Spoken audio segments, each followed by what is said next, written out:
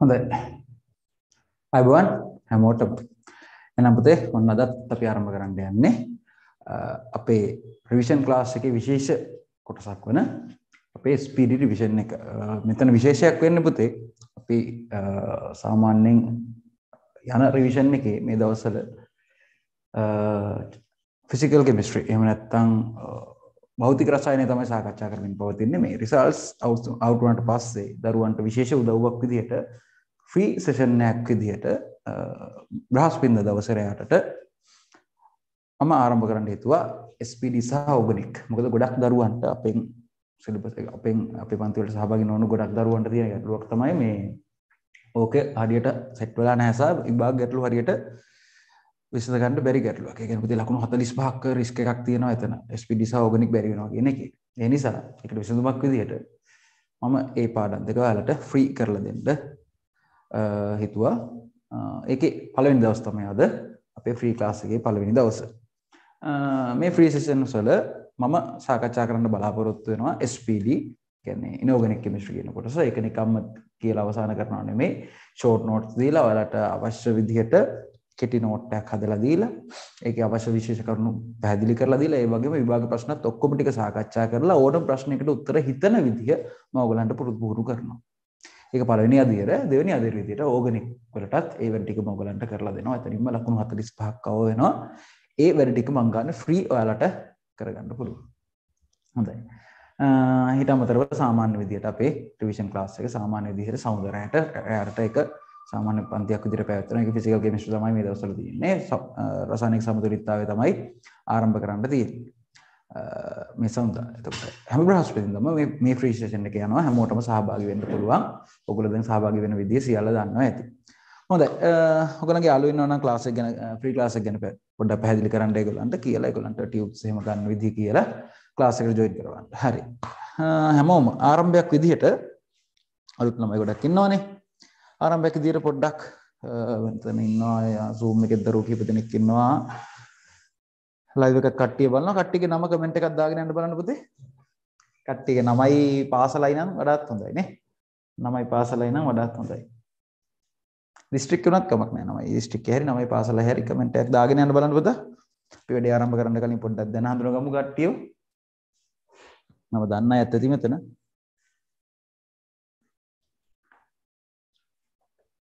ආරම්භයක් ගමු බලන්න ලස්සනට අපි.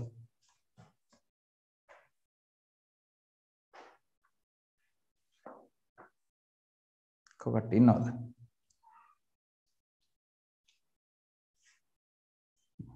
ඉන්නේ කට්ටිය.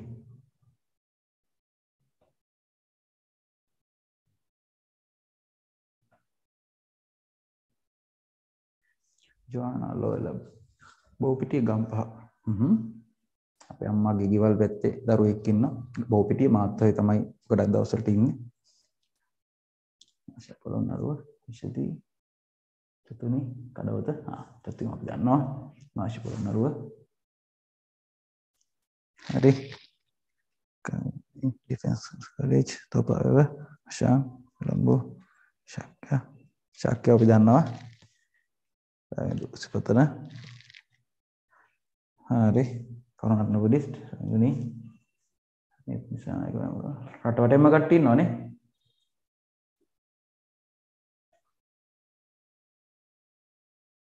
හරි. හ්ම් හ්ම්. මොකද කැන්ඩි මන්දාරවල දම්පාව අහ ඔකද අහ මචන් කන්දාන සෙහත්. දන්නවා හරි. නිගම්බු හරිචන්ද්‍ර කට්ටි කට්ටිය හැමතැනම රටවටම සෞත්තන් ගෝල් ලස්සන පැත්තක්. කරම්බු. හරි. එන. කෙටියෙන් කිව්වොත් මොකද්ද මේ කරන්න යන්නේ? රටටම ස්පීඩි කොට දාන්නවා කියන්නේ නේද එන? එහෙනම් වෙලේ පටන් ගමු පුතේ අපි. හොඳයි. ආරම්භයක් විදියට මෙහෙම ගමු. හරි. කියලා පටන් ගන්න අපේ ස්පීඩි සෙෂන් අවසන් වුණාම ඔයාට පාස් පේපර්ස් වල ඕනම SPD ගැටලුවක් සම්පූර්ණ කරගන්න පුළුවන් වගේම 20 ස්තුන පේපරේ හරි 20 ස්තුන පේපරේ ඩිසෙම්බර් නේද? ඩිසෙම්බර් 6ද 6 නේද කෙමිස්ට්‍රි තියෙන්නේ? 6ද 7ද හරි. තියෙන කෙමිස්ට්‍රි පේපර් එකටත් එන SPD ප්‍රශ්නෙට easy සම්පූර්ණ ලකුණු ගන්න පුළුවන් වෙනවා මේකෙන් පස්සේ. හොඳට මතක තියාගන්න මේ සෙෂන්ස් ටික අවසන් වුණාට පස්සේ SPD අවසන් වුණාට පස්සේ ඔයගලන්ට සම්පූර්ණ ලකුණු ගන්න පුළුවන් ඒක මම ගැරන්ට් කරලා කියන්නේ. ඒක ෂුවර් නෑ වගේ නම් මගේ ක්ලාස් ආපු කට්ටියෙන් අහලා බලන්න SPD ප්‍රශ්න වලට උත්තර ලියන කට්ටියගෙන්. හොඳයි. එහෙනම් වැඩේ ආරම්භ කරමු පුතේ අපි. වැඩි කතා නැතිව හොඳයි. කට්ටිය දැන් අඳුරගත්තා රටවටම අපිට කට්ටිය ඉන්නවා. එහෙනම් අපි වැඩේ ආරම්භ කරමු මේ විදිහට. හොඳයි. මම මෙහෙම කියලා පටන් ගන්නම් වැඩේ. හරි. හැමෝටම පැහැදිලි වෙනවද වීඩියෝස් පැහැදිලිනේ? හොඳයි. ඔන්න බලා ගන්න පුතා කතාව. පාඩමේ අංකය 6 වෙනි එකකය SPD ඔක අපි කියනවා ඉනෝගනික් කෙමිස්ට්‍රි කියලා කියනවා.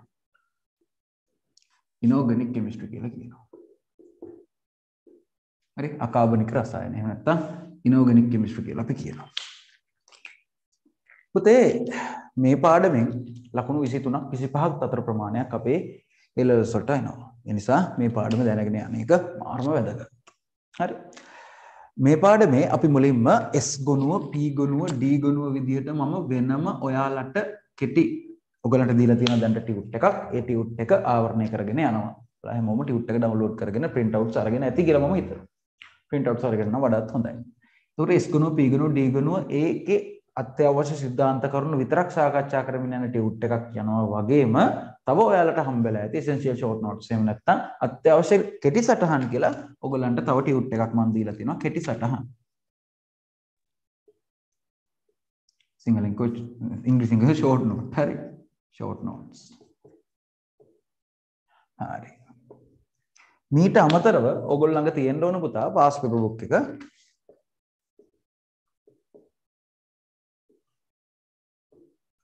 හරි මීට අමතරව ඔයගොල්ලන්ගේ තියෙන පාස්වර්ඩ් බුක් එක. මේ වැඩ මේ දේවල් තුනත් එක්ක මේ තුන තමයි අපේ රිසෝසස් ටික. මේ වැඩ තුනත් එක්ක තමයි එහෙම නැත්නම් මේ මැටීරියල්ස් තුනත් එක්ක තමයි අපේ වැඩේ යන්නේ. මේකත් එක්ක හරියට සෙට් වුණොත් ඔයාලට ලස්සනට ඕනම ප්‍රශ්නයකට පිළිතුරු දෙන්න පුළුවන් විදිහට ඔයගොල්ලන්ගේ ස්පීඩි දැනුම හැදෙනවා ඒක ගැරන්ට් කරලා කියන්නේ කිව්වොත් කිව්වා. හරිනේ? එහෙනම් ඔන්න අපි වැඩේ ආරම්භ කරමු. මෙන්න ආරම්භයක් ගත්ත අපි කරන වැඩ ටික මේ ටියුට්ස් ළඟ තියෙන්න ඕන වගේම පාස් පේපර් බුක් එකත් ළඟ තියෙන්න ඕන. ළඟ නැත්තම් විනාඩියක් දෙන්නම් ගිහලා ඉක්මනට අරගෙන එන්න. මේ විදිහට තමයි මේ තුනත් එක්ක තමයි අපේ මේ SPD සෙෂන් එක යන්නේ. මේක අවසන් වුණාට පස්සේ ඕගනික් එක යන විදිහත් පැහැදිලි කරන්න. හරි? දින කිහිපයකින් මේ කොටස අවසන් කරනවා.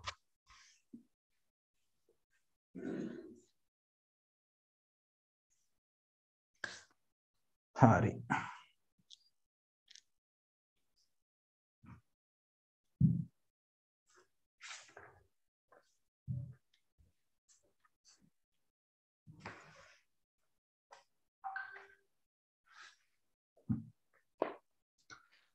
හොඳ අපි එන වැඩේ ආරම්භ කරමු. හැමෝගලම පාස්පේ බුක් එක ඇති කියලා මම හිතනවා. ළඟට අරගෙන හරි ටියුට් දෙකක් ළඟ තියාගෙන වැඩේට පටන් ගමු මේ විදිහට. හොඳයි මම පුතේ මම මෙහෙම පටන් ගන්නම් S ගොනුව කියන එකෙන් පොඩ්ඩක් ආරම්භ කරන්න මෙන්න මේ විදිහට. හරි. S ගොනුව. ආවර්තිතා වගුවේ පළවෙනි කාණ්ඩය සහ දෙවනි කාණ්ඩය. අවර්තවගේ පළවෙනි කාණ්ඩය දෙවනි කාණ්ඩය කියන දෙක. අපි ගත්තොත් අවර්තවගේ පළවෙනි කාණ්ඩයේ තියෙනවා පුතේ හයිඩ්‍රජන් ඉන්නවා. හරි. ඊට පස්සේ ඊට යටින් ඉන්නවා lithium sodium potassium rubidium caesium ඊට අමතරව ෆ්‍රැන්සියම් තියෙනවා. දෙවනි කාණ්ඩය ගත්තොත් දෙවනි කාණ්ඩය ගත්තොත් අපිට ඉන්නවා beryllium magnesium calcium strontium barium සහ රේඩියම්. මෙතනින් මේ මම අවසානට ලියපු කට්ටිය දෙන්න විකිරණශීලී දෙන්නේ මොනවද දෙන්නේද පුතේ විකිරණශීලී. විකිරණශීලී. පුතේ විකිරණශීලී කියන එකේ තේරුම දන්න කට්ටිය චුට්ටක් අත උස්සන්න. විකිරණශීලී කියන එකේ තේරුම දන්න කට්ටිය රේස් හෑන්ඩ් කියන ඔප්ෂන් එක ගන්න දැන් කමෙන්ට් එකක් දාන්න පුළුවන්. විකිරණශීලී කියන වචනේ තේරුම දන්නේ කවුද? ආ විභාග පළවෙනි පාඩමේ විභාග ප්‍රශ්නයක් තියෙනවා. එහෙම නැත්නම් අනිවාර්යයෙන් මේ මේ එක්සෑම් එකට එන ප්‍රශ්නයක් තියෙනවා. විකිරණශීලීතාවය සොයා ගන්නා ලද්දේ කවුරුන් විසින්ද? ප්‍රශ්නෙට උත්තර ඉක්මනට කමෙන්ට් එකක් දාන්න. විකිරණශීලීතාවය සොයා ගන්නා ලද්දේ කවුරුන් විසින්ද? කියන බලන්න උත්තරය පළවෙනි පාඩමෙන් හවි හරි. පළවෙනි පාඩමෙන් හවි විකිරණශීලීතාවය සොයා ගන්නා ලද්දේ කවුරුන් විසින්ද කවුද දන්නේ දෙන්න බලන්න කමෙන්ට් එක. පළවෙනි පාඩමෙන් අහන ප්‍රශ්නේ. වික්‍රමශීලීතාවය සොයා ගන්න ලද්දේ කවුරු විසින්ද? හරියට හරි. කට්ටියම හරි. හොඳයි. හරියට හරි. Henry Baker. හරි? මතක තියාගන්න එක්සෑම් එකට අහනවා. හරි? හෙන්රි බේකර් තමයි. එතකොට මේගොල්ලෝ විකිරණශීලී කියන එකේ තේරුම් පොතේ මේගොල්ලන්ට ඉන්න බෑ වගේ අර්ථයක්. ඒ කියන්නේ මේගොල්ලන්ට මේ විදිහට මේ මූලද්‍රව්‍ය විදිහට ඉන්න බෑ. ඒගොල්ලෝ තමන් තමන්ගේ ශක්තිය මොනවා කරනවද? පිට කරලා දානවා. තමන්ගේ ශක්තිය මොනවා කරලා දාන කට්ටියද පුතේ මේගොල්ලෝ තමන්ගේ ශක්තිය පිට කරලා දානවා. ඇයි? ඒගොල්ලෝ අස්ථායි. ඒ නිසා ඒගොල්ලන්ගේ ශක්තිය ඒගොල්ලෝ පිට කරලා දානවා. තමන්ගේ ශක්තිය පිට කරන්නේ අස්ථායි නිසා ඒ වගේම මේගොල්ලන්ගේ ප්‍රතික්‍රියාශීලීත්වය ඉතාමත් වැඩි. ඔයගොල්ලෝ දන්න වික්‍රමශීලී කියන්නේ ප්‍රතික්‍රියාශීලීත්වය ගොඩක් වැඩි කට්ටිය. පුතා සමහරු මෙහෙම පාඩම් කරගන්නවා. කටපාඩම් කරනවා. කාණ්ඩයක් ඔස්සේ පහළට යනකොට ප්‍රතික්‍රියාශීලීත්වය වැඩි වී වැඩි වී වැඩි වී වැඩි වී. එහෙම පාඩම් කරන්න ඕනේ නැහනේ. පළවෙනි කාණ්ඩේ දෙවෙනි කාණ්ඩේ කියන දෙන්නගෙම යටම ඉන්නේ විකිරණශීලී කියලා අතිශය ප්‍රතික්‍රියාශීලී කට්ටිය නම්. උඩ එහෙම අය නැත්තම් එතනින්ම තේරුම් යන්න පුළුවන් පුතේ කාණ්ඩයක් ඔස්සේ පහළට යනකොට ප්‍රතික්‍රියාශීලීත්වය මොනව වෙන්න ඕනේ කියලා වැඩි වෙන්න ඕනේ කියලා. ඒක මහා ලොකු දෙයක් විදිහට ඒක මතක තියාගන්න අවශ්‍යද නැහැ. අපි දන්නවා යට ඉන්න කට්ටිය විකිරණශීලී නම් උඩ ඉන්න කට්ටිය එහෙම නැහැ. ඒ කියන්නේ යට යනකොට ප්‍රතික්‍රියාශීලීත්වය වැඩි වෙලා. හරි සරලයි ආයෙ කටපාඩම් කරන්න කිසි දෙයක් නැහැ. තේරෙනවනේ කතාව? ඒක පැහැදිලි කට්ටිය අත උස්සන්න. අත උස්සන්න පුළුවන් අපේ මේ මේ zoom එකේ ඉන්න කට්ටියට විතරයි. raise hand කියලා option එකක් තියෙනවා පුතේ. හරි. අපේ කවුද YouTube එකේ කට්ටිය නම් නේද කමෙන්ට් එකක් දාන්න වෙපේ හරි හොඳයි. වැඩේ ඕකේනේ ඒ නිසා ඒ වගේ සරල දේවල් වලින් මේව තේරුම් ගන්න පුළුවන්. මොකද මතක තියාගන්න දේවල් කිහිපයක් තියෙනවා. ඒව එන්නේ පස්සේ මේව සාමාන්‍යයෙන් අපිට නිකන් සාමාන්‍ය දැනීම වගේ ඔලුවට දාගන්න පුළුවන් මේක. යටම ඉන්නේ ප්‍රතික්‍රියාශීලීත්වය වැඩි අය නම්. හරි? ඒ කියන්නේ විකිරණශීලී අය නම්. ඉතින් ඒ කියන්නේ කාණ්ඩයක් ඔස්සේ පහට යනකොට ප්‍රතික්‍රියාශීලීත්වය වැඩි වෙලා කියන එක. සරලයි. ඉතින් ආයේ ආයාසයක් ගන්න එපා. ඒක පාඩම් කරගන්න. ඒක හරිනේ. සිම්පල් කේස් ආ ඒක ඉවරයි. ඊළඟට මේගොල්ලෝ තමයි පුතේ S ගුණුවේ ඉන්න කට්ටිය. S ගුණුවේ පළවෙනි කාණ්ඩයේ අය දෙවෙනි කාණ්ඩයේ අය ඉන්නවා. මං අහන ප්‍රශ්නයක් ඇයි මේගොල්ලන්ට S ගුණුව කියලා කියන්නේ? මේගොල්ලන්ට S ගුණුව කියලා කියන්නේ පුතේ මේගොල්ලන්ගේ අවසාන ඉලෙක්ට්‍රෝනය පිරෙන්නේ S කාක්ෂිකයක නිසා. දැන් මෙන්න මේගොල්ලෝ සෙට් එක ගන්නකො. මේගොල්ලන්ගේ අරගෙන බලන්න දැන් මේ හයිඩ්‍රජන් ගිහිම 1s1. හරි. මෙයාගේ අන්තිමට ඉලෙක්ට්‍රෝනය පිරෙන්නේ 2s1 කියලා එකක්. එකෙක්ට. මෙයාගේ 3s1 4s1 5s1 ඒ විදිහට මේ හැමෝගෙම අන්තිම ඉලෙක්ට්‍රෝනය පිරෙන්නේ s1 කියලා කාක්ෂිකයකට s කාක්ෂිකයකට පිරෙන නිසා මේගොල්ලෝ s ගුණුව එහෙනම් හරි s ගුණුව වෙනවා මේගොල්ලන්ගේ එතකොට? මේගොල්ලන්ගේ පිරෙන්නේ පුතේ මෙයාගේ 2s2 3s2 4s2 අන්තිම ඉලෙක්ට්‍රෝනය පිරෙන්නේ s කාක්ෂිකයකට. S2 කියලා තමයි පිරෙන්නේ. මෙයාගේ අවසාන ඉලෙක්ට්‍රෝනයක් පිරෙන්නේ s කාක්ෂිකයකට. මේගොල්ලන්ගේ අවසාන ඉලෙක්ට්‍රෝනය පිරෙන්නේ S කාක්ෂිකයකට. ඒ නිසා මේ ගොනුවට අපි කියනවා නැත්නම් මේ කට්ටියට පළවෙනි කාණ්ඩයේ කට්ටියට දෙවෙනි කාණ්ඩයේ කට්ටියට අපි කියනවා S ගොනුවේ මූලද්‍රව්‍ය කියලා. තේරුම් කට්ටියත් ඔස්සන්න. ඇයි මේගොල්ලන්ට S ගොනුව කියන්නේ කියලා තේරුම් කට්ටියත් ඔස්සන්න. මේගොල්ලන්ගේ අන්තිම ඉලෙක්ට්‍රෝනය පිරෙන්නේ S කාක්ෂිකයකට ඉලෙක්ට්‍රෝන වින්‍යාසය ලිව්වහම මෙයාගේ ඉලෙක්ට්‍රෝන වින්‍යාසය ලිව්වහමත් මේගොල්ලන්ගේ අවසාන ඉලෙක්ට්‍රෝන පිරෙන්නේ S කාක්ෂිකයකට. ඒ නිසා මේගොල්ලන්ට කියන අපි මොන ගොනුව කියලාද පුතේ? S ගොනුව කියලා. හරි ලේසි සරලයි. සිකුල් කේස හරි ඊට පස්සේ පළවෙනි කාණ්ඩයේ කට්ටියට අපි විශේෂ හයිඩ්‍රජන් හැර හයිඩ්‍රජන් හැර පළවෙනි කාණ්ඩයේ ඉතිරි කට්ටියට අපි කියනවා ශාර ලෝහ කියලා. ශාර කියන්නේ භාෂ්මිකය කියන අර්ථයම තමයි. ශාර ලෝහ. ඒකට ගැඹුරට ගියොත් වෙන අර්ථයක් තියෙනවා. හරි අපි සරල විදිහට කතා කරමුකෝ. ශාර ලෝහ මේගොල්ලන්ට කියනවා ශාර පාංශු ලෝහ කියලා. ශාර පාංශු ලෝහ. එහෙනම් දෙවනි කාණ්ඩේ කට්ටියගේ නම ශාර පාංශු ලෝහ පළවෙනි කාණ්ඩේ කට්ටියගේ හයිඩ්‍රජන් ඇර ඉතිරි කට්ටියගේ නම ශාර ලෝහ හරි ශාර ලෝහ හයිඩ්‍රජන් අලෝහයක්. මෙයා ලෝහයක් නෙමෙයි. හයිඩ්‍රජන් කියන්නේ අලෝහයක් එක වායුවක් නේ H2 e විදියට ඉන්නේ. අපි ඒක හැමෝම දන්නවා. හොඳයි. දැන් මම පුතාලා ටියුට් එක ගන්න ෂෝට් නෝට් එක නෙමෙයි. ඔයගොල්ලන්ගේ තියරි ටියුට් එකක් මම ඔයගොල්ලන්ට දීලා තියෙනවා. තියරි ටියුට් එකක් දීලා තියෙනවා. ඒක කව පේජ් එක නෑ නේ ඔයගොල්ලන්ට. ඇතුළේ විතර නෙවෙයි මන් නේද? හරි. මේ තියෙන්නේ මේකේ. මේක පුතේ පළවෙනි පිටුවේ ඔයගොල්ලෝ උඩ තියෙනවා S ගුණුව කියලා. මේක මේ පුතේ මේ එහෙම් මෙහෙන් තනින් තන උගන්නලා හා දැන් SPD පුළුවන් කියන එකක් නෙමේ. මේක පිළිවෙලට පාඩම හරි කෙටියෙන් සම්පූර්ණ පාඩම උගන්නලා ඉවර කරන එකක්. මේ තනින් තනින් චුට්ටක් චුට්ටක් උගන්නලා හා දැන් SPD පුළුවන් සෝක් සෝක් කියලා යවන දණක් නෙමේ. හරි මම එහෙම කරන්නේ. හරි. පළවෙනි පිටුව බලන්න. එතන තියෙනවා S ගුණුව කියලා. මම පුතාලේ නම් කරන්න ඕනේ S ගුණුව කියලා.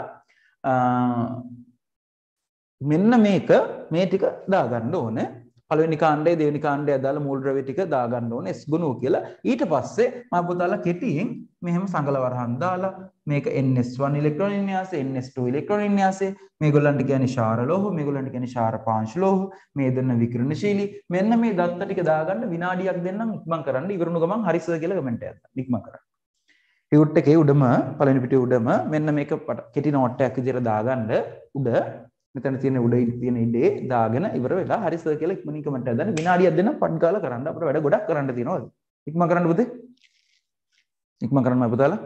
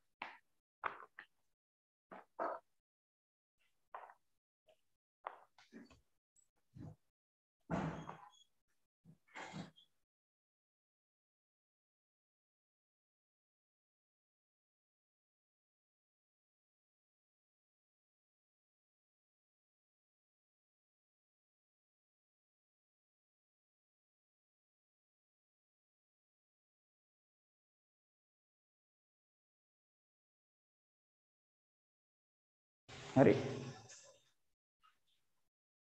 එක දරුවෙක් ඉවරයි කියලා කමෙන්ට් එකක් දාලා තියෙනවා අනිත් පැත්තෙන් මම කරන්න පුතේ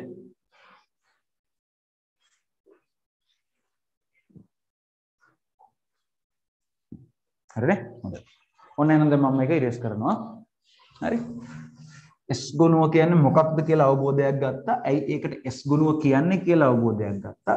S ගුණුවයට අදාළ කාණ්ඩ දෙකයි කියලා තේරුම් ගත්තා. ඒ කාණ්ඩ දෙක නම් කරනවා. පළවෙනි කාණ්ඩය හයිඩ්‍රජන් හැර ඉතිරි ටික ශාර ලෝහ අනිත් සෙට් එක ශාර පාංශු ලෝහ. කතාවක් නැහැනේ දෙයක් නැහැ. එතන ලොකු දෙයක් නැහැ. හරි? හොඳයි. ඒ කතාව හරි. හොඳයි. දැන් ටියුට් එකේ ඊළඟ ටිකේ තියෙනවා පුතේ S ගුණයේ මූලද්‍රව්‍ය කියලා. හරි? S ගුණයේ මූලද්‍රව්‍ය කියලා තියෙනවා. අපි S ගුණයේ මූලද්‍රව්‍ය කියන්නේ මොනවද කියලා කරමු. පුතා මේක මම පොඩ්ඩක් අර ඉන්ට්‍රස්ටිං විදිහට තමයි වැඩේ යන්නේ ඒ කියන්නේ මොකද්ද පුතේ කියන්නේ? ඒ කියන්නේ මේක හැල්ල ඔක්කොම ඉවර කරලා ස්ගුණ සම්පූර්ණයෙන්ම ඇදලා ඇදලා තියෙරි. එහෙම නෙමෙයි. මම මෙහෙම කියන්නම්කෝ. දැන් පුතා මට තියෙන ටීචින් ඩිග්‍රී එකක්. හරි. දැන් එතකොට අපි ටීචින් ඩිග්‍රී එක අපිට කරනකොට අපිට අපිට one of the teaching techniques කියන උගන්නන ටෙක්නික් ටිකක් තියෙනවා. එක දිගට එක දෙයක් කියාගෙන කියාගෙන යනකොට ඔයාටත් බෝරින් මටත් බෝරින්. එපා වෙනවනේ පුතා නේද? හරි. එහෙම නොවෙන්න මේක පොඩ්ඩක් ආසාවෙන් දිගට ගන්න. නැත්නම් මේක හොඳට පැහැදිලිව තේරුම් ගන්න සහ මොලේට මේක හොඳට යන්න නම් අපි මේක ගණ ගන්න ඕන පොඩ්ඩක් ආස හිතෙන විදියට. එතකොට එකම දෙයක් එක දිගට යනවට වඩා අපි මේක මාරු කර කර යන්න උදාහරණයක් විදිහට මම අපිට ටියුබ් දෙකක් දුන්නානේ. දැන් මේ ටියුට් එකේ අපි තීරිස් කාරණාවක් කතා කරමින් යනවා. ඒකේ යම් තැනකින් නවත්තලා අපි යනවා ෂෝට් නෝට්ස් වලට. ඒක වෙනම ආතල් එකක් ෂෝට් නෝට් එක කියන්නේ. මගේ ෂෝට් නෝට් එක කියන්නේ කොහොමද වෙනම ආතල් එකක්. හරි. ඒ හතල් එකට යනවා. ඊට පස්සේ ගිහිල්ලා ඒක තේරුම් අරගෙන ඒකෙන් ප්‍රශ්නයක් ප්‍රශ්න ටික පැහැදිලි කරලා ඊට පස්සේ ආයෙ මේකට එනවා. අර අර අපි කියන්න පුතාර ස්විච් ඔන් ස්විච් ඔෆ් කියලා අන්නේ මෙතඩ් එකට තමයි අපි මේක යන්නේ. එතකොට හරි ආසාවෙන් වැඩේ හිමීට හිමීට වැඩිත් වෙනවා සහ වැඩේ සම්පූර්ණත් වෙනවා සහ එපා වීම අඩු වෙනවා. සාමාන්‍යයෙන් අධ්‍යාපනය කරේ දරුවෙක්ගේ තියෙන පොඩ්ඩක් රින පැත්තක්නේ. බෝරින් වගේ වෙනවා ටිකක් කළා ගියාම ඒක එහෙම නොවෙන්න ට්වෙන්ටි කරගෙන යන්න ලස්සනට. හරි. හොඳයි. හොඳයි. S ගුණයේ මූල ද්‍රව්‍ය කියලා පටන් අරගෙන තියෙනවා. එතන තියෙනවා පළවෙනි කාණ්ඩය කියලා ශාර ලෝහ කියලා. දැන් මාතෘකාව දාලා තියෙන පුතේ පළවෙනි කාණ්ඩේ ශාර ලෝහ කියලානේ. එහෙනම් ඔයාට හයිඩ්‍රජන් දාන්න ඔට්ටු නෑ නේද උතෙන්ට? ඒක තේරෙනවනේ? දැන් පළවෙනි කාණ්ඩේ ශාර ලෝහ නම් හයිඩ්‍රජන් ලෝහයක් නෙමෙයිනේ. එහෙනම් ඔයා පළවෙනි කාණ්ඩේ උතන ලියන්න ඕන පහලට. හරි? Lithium, sodium, potassium, rubidium, caesium, francium කියලා ඔයා යටට ලියන්න ඕනේ. හැබැයි හයිඩ්‍රජන් ලියන්න ඔට්ටු නෑ. ඇයි? එයා පළවෙනි කාණ්ඩේ වුණාට එයා ශාර ලෝහයක් නෙමෙයි ඒක කවුද? අලෝහයක්. හොඳයි. මම ඔය අස්සේ අහනවා ප්‍රශ්නයක් මෙන්න මෙහෙම. YouTube එකේ කට්ටියත් කමෙන්ට් කරලා උත්තර දෙන්න ඕන. හරි? නිකන් ඉන්න බෑ. හරි මම අහන ප්‍රශ්නේ මේකයි. පළවෙනි ප්‍රශ්නය.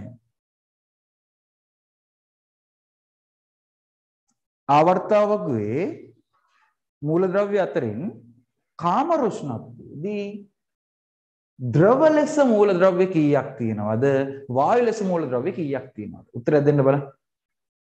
ආවර්තවගේ ඉන්න මූලද්‍රව්‍ය වලින් කාමර උෂ්ණත්වයේදී වායු අවස්ථාවේ මූලද්‍රව්‍ය කීයද? ද්‍රව අවස්ථාවේ මූලද්‍රව්‍ය කීයද? කියන්න බලන්න. ඉක්මන් කරන්න. කාටද මතක? කාටද මතක? ඔක අහනවා විභාග ප්‍රශ්න. විභාග ප්‍රශ්න වුණා. ද්‍රව ලෙස මූලද්‍රව්‍ය කීයක් තියෙනවද? වායු ලෙස මූලද්‍රව්‍ය කීයක් තියෙනවද? හරියටම දැනගෙන ඉන්න ඕන. ඒක දන්නේ නැහැ කියන්නේ අවුලා. මම මේ 20 25 කට්ටියටත් ඉගෙනනවා දැන් සති සතියකට දෙකට කලින් ඕක. හරි? ඔයගොල්ලෝ 23 කට්ටිය දැනන් ඉන්න ඕන. හරි? ද්‍රව දෙකක් තියෙනවා. හරි? හරියට හරි ද්‍රව දෙකයි. මොනවද ද්‍රව දෙක? ද්‍රව දෙකයි. මාකරි තියෙනවා රසදිය මේක ලෝහයක්. රසදිය ලෝහයක් නමුත් ද්‍රවයක්. හරි? තව බ්‍රෝමීන් අලෝහයක් එයත් ද්‍රවයක්. ඔන්න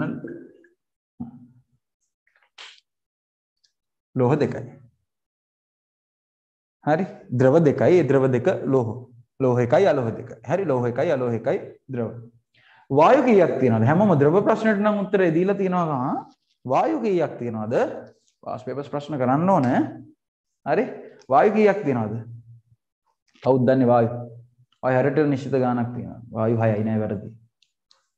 කාමරෂ්ණත්වේදී වායු 6යි නෙමෙයි. වායු 6කට වඩා තියෙනවා. කො? කට්ටිය කවුද දන්නේ?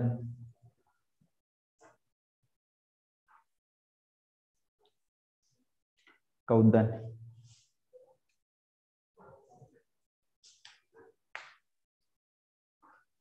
ගෙස් කරන්න. 6ට වැඩි. එහෙනම් ගෙස් කරන්න කට්ටිය. 6ට වැඩි. ගෙස් කරන්න කට්ටිය. දන්නේ නැතුණා ගෙස් එකක් දාන්න. ඒක තියාගන්න. අද ඉගෙන ගන්න. පාස් පේපර්ස් කරන්නේ නැහැ කට්ටිය. ආ. එක හරි උත්තරයක් ආවා. 11. මොනවද 11? ඔන්න අහගන්න. එකක් හයිඩ්‍රජන්. අනික හීලියම්. හරි. ඊළඟට ෆ්ලෝර් මොකක්ද? Nitrogen, oxygen, chlorine, fluorine, chlorine හරි මෙතන සෙට් වෙනවා පුතේ හයක් මෙතන තියෙනවා. හරි. මේ ටිකේ මෙතන හැලජන දෙකක් තියෙනවා. හරි. මෙතන හයිඩ්‍රජන් තියෙනවා, නයිට්‍රජන් ඔක්සිජන් තියෙනවා.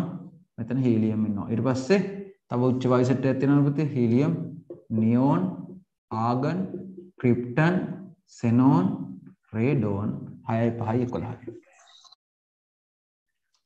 මේගොල්ලන්ට කියන්නෙම උච්ච වායු කියලානේ මේ හීලියමුත් මෙතනට දැම්මොත් මේ සෙට් එක උච්ච වායුනේ හීලියමුත් එක්ක. ඉතින් උච්ච වායු සෙට් එකයි.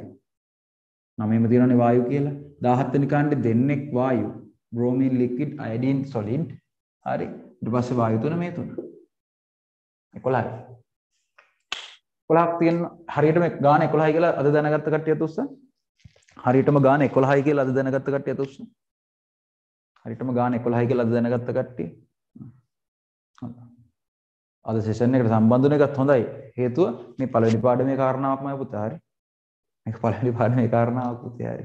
ඔය දැනගෙන ඉන්න. අනික පාස් පේපර් ක්වෙස්චන්ස් එක පුතා හොඳ. අනිවාර්යෙන් කරලා තියන්න ඕන එක්සෑම් එකට යන්න කලින් හරි. හොඳයි.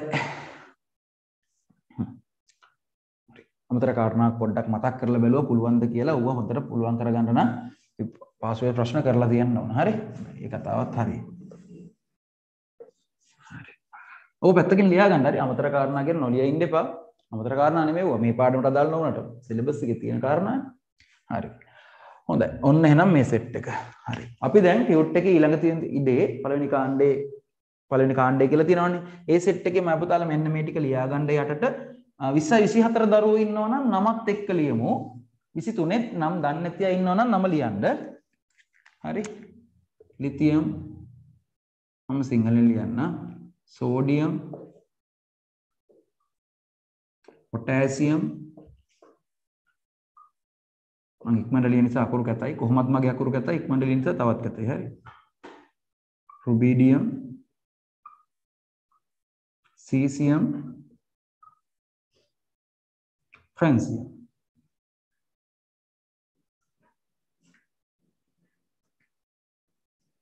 හරි. මේ ෆ්‍රැන්සියම් පොඩ්ඩ විශේෂයිනේ අපි හැමෝම දන්නේ. ඒ පුතේ ඔයගොල්ලෝ දැන් කියන්නේ කියන්නේ විකිරණශීලී නේ කියන්නේ හඬ නගලා කියන්නේ ගෙදර හිටියට කමක් නැහැ ඔයගොල්ලෝ පිස්සු පිස්සු කියලා හිතලා ගෙදර මිනිස්සු ඔයගලන්ට කමක් නැහැ ගෙදර මිනිස්සු දන්නවා ඔයාලට කොහොමද පිස්සු කියලා එහෙනම් හඬ නගා උත්තර දෙන්න මේකට හරි ගෙදර ඉඳන් මයික් එක ඔන් කළත් කමක් නැහැ හරි මට නම් අවුලක් නැහැ මයික් ඔන් කළාට ඔයාලා වීඩියෝ ඔන් කරන්න එපා මොකද ඔයගොල්ලෝ රෑනේ ඉන්නේ පුතේ ගෙදර ගෙදරට මේ රෑට අඳන් ඉන්නේ නැතුව මම හොඳට දන්නවා ඒක පිටින් නම් වීඩියෝ ඔන් කරන්න එපා ප්ලීස් අපි බය වෙන්නේ හා හරි lithium sodium potassium rubidium caesium francium විශේෂයෙන් ගෑන් ළමයි නම් එපා හරි කොල්ලොත් දැන් උඩුකය නිරුවත්තන ඉන්නේ ඔයක්කෝ හරි. ආතල්ලගෙන නේද? සෝටක් ගහගෙන ඉන්නවා. ඒක පිටින් නම් ඔන් කරන්න එපා අපි බය වෙනවා ඈ. හරි. ගෑන් ළමයිත් එපා ප්ලීස් හරි. මේ බලන්න. Lithium sodium potassium rubidium caesium and francium. මේ සෙට් එක තමයි තියෙන්නේ. හරි. මේ සෙට් එක තමයි තියෙන්නේ පටස් ගාලා ලියා ගන්න නමත් එක්ක.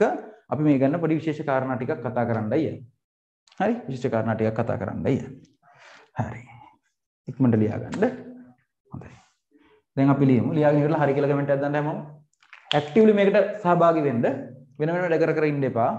හරි? ඇක්ටිව්ලි මේකට සහභාගී වෙන්න. අනික ඔබගේ ස්ක්‍රීන් එක විදිහට තිබිය යුත්තේ ඔබ ඉදිරියේ මේ ස්ක්‍රීන් එක විතරයි. ඕක විතරයි. මැච් එක පැත්තකින් ප්ලේ කරලා තියන්න බෑ.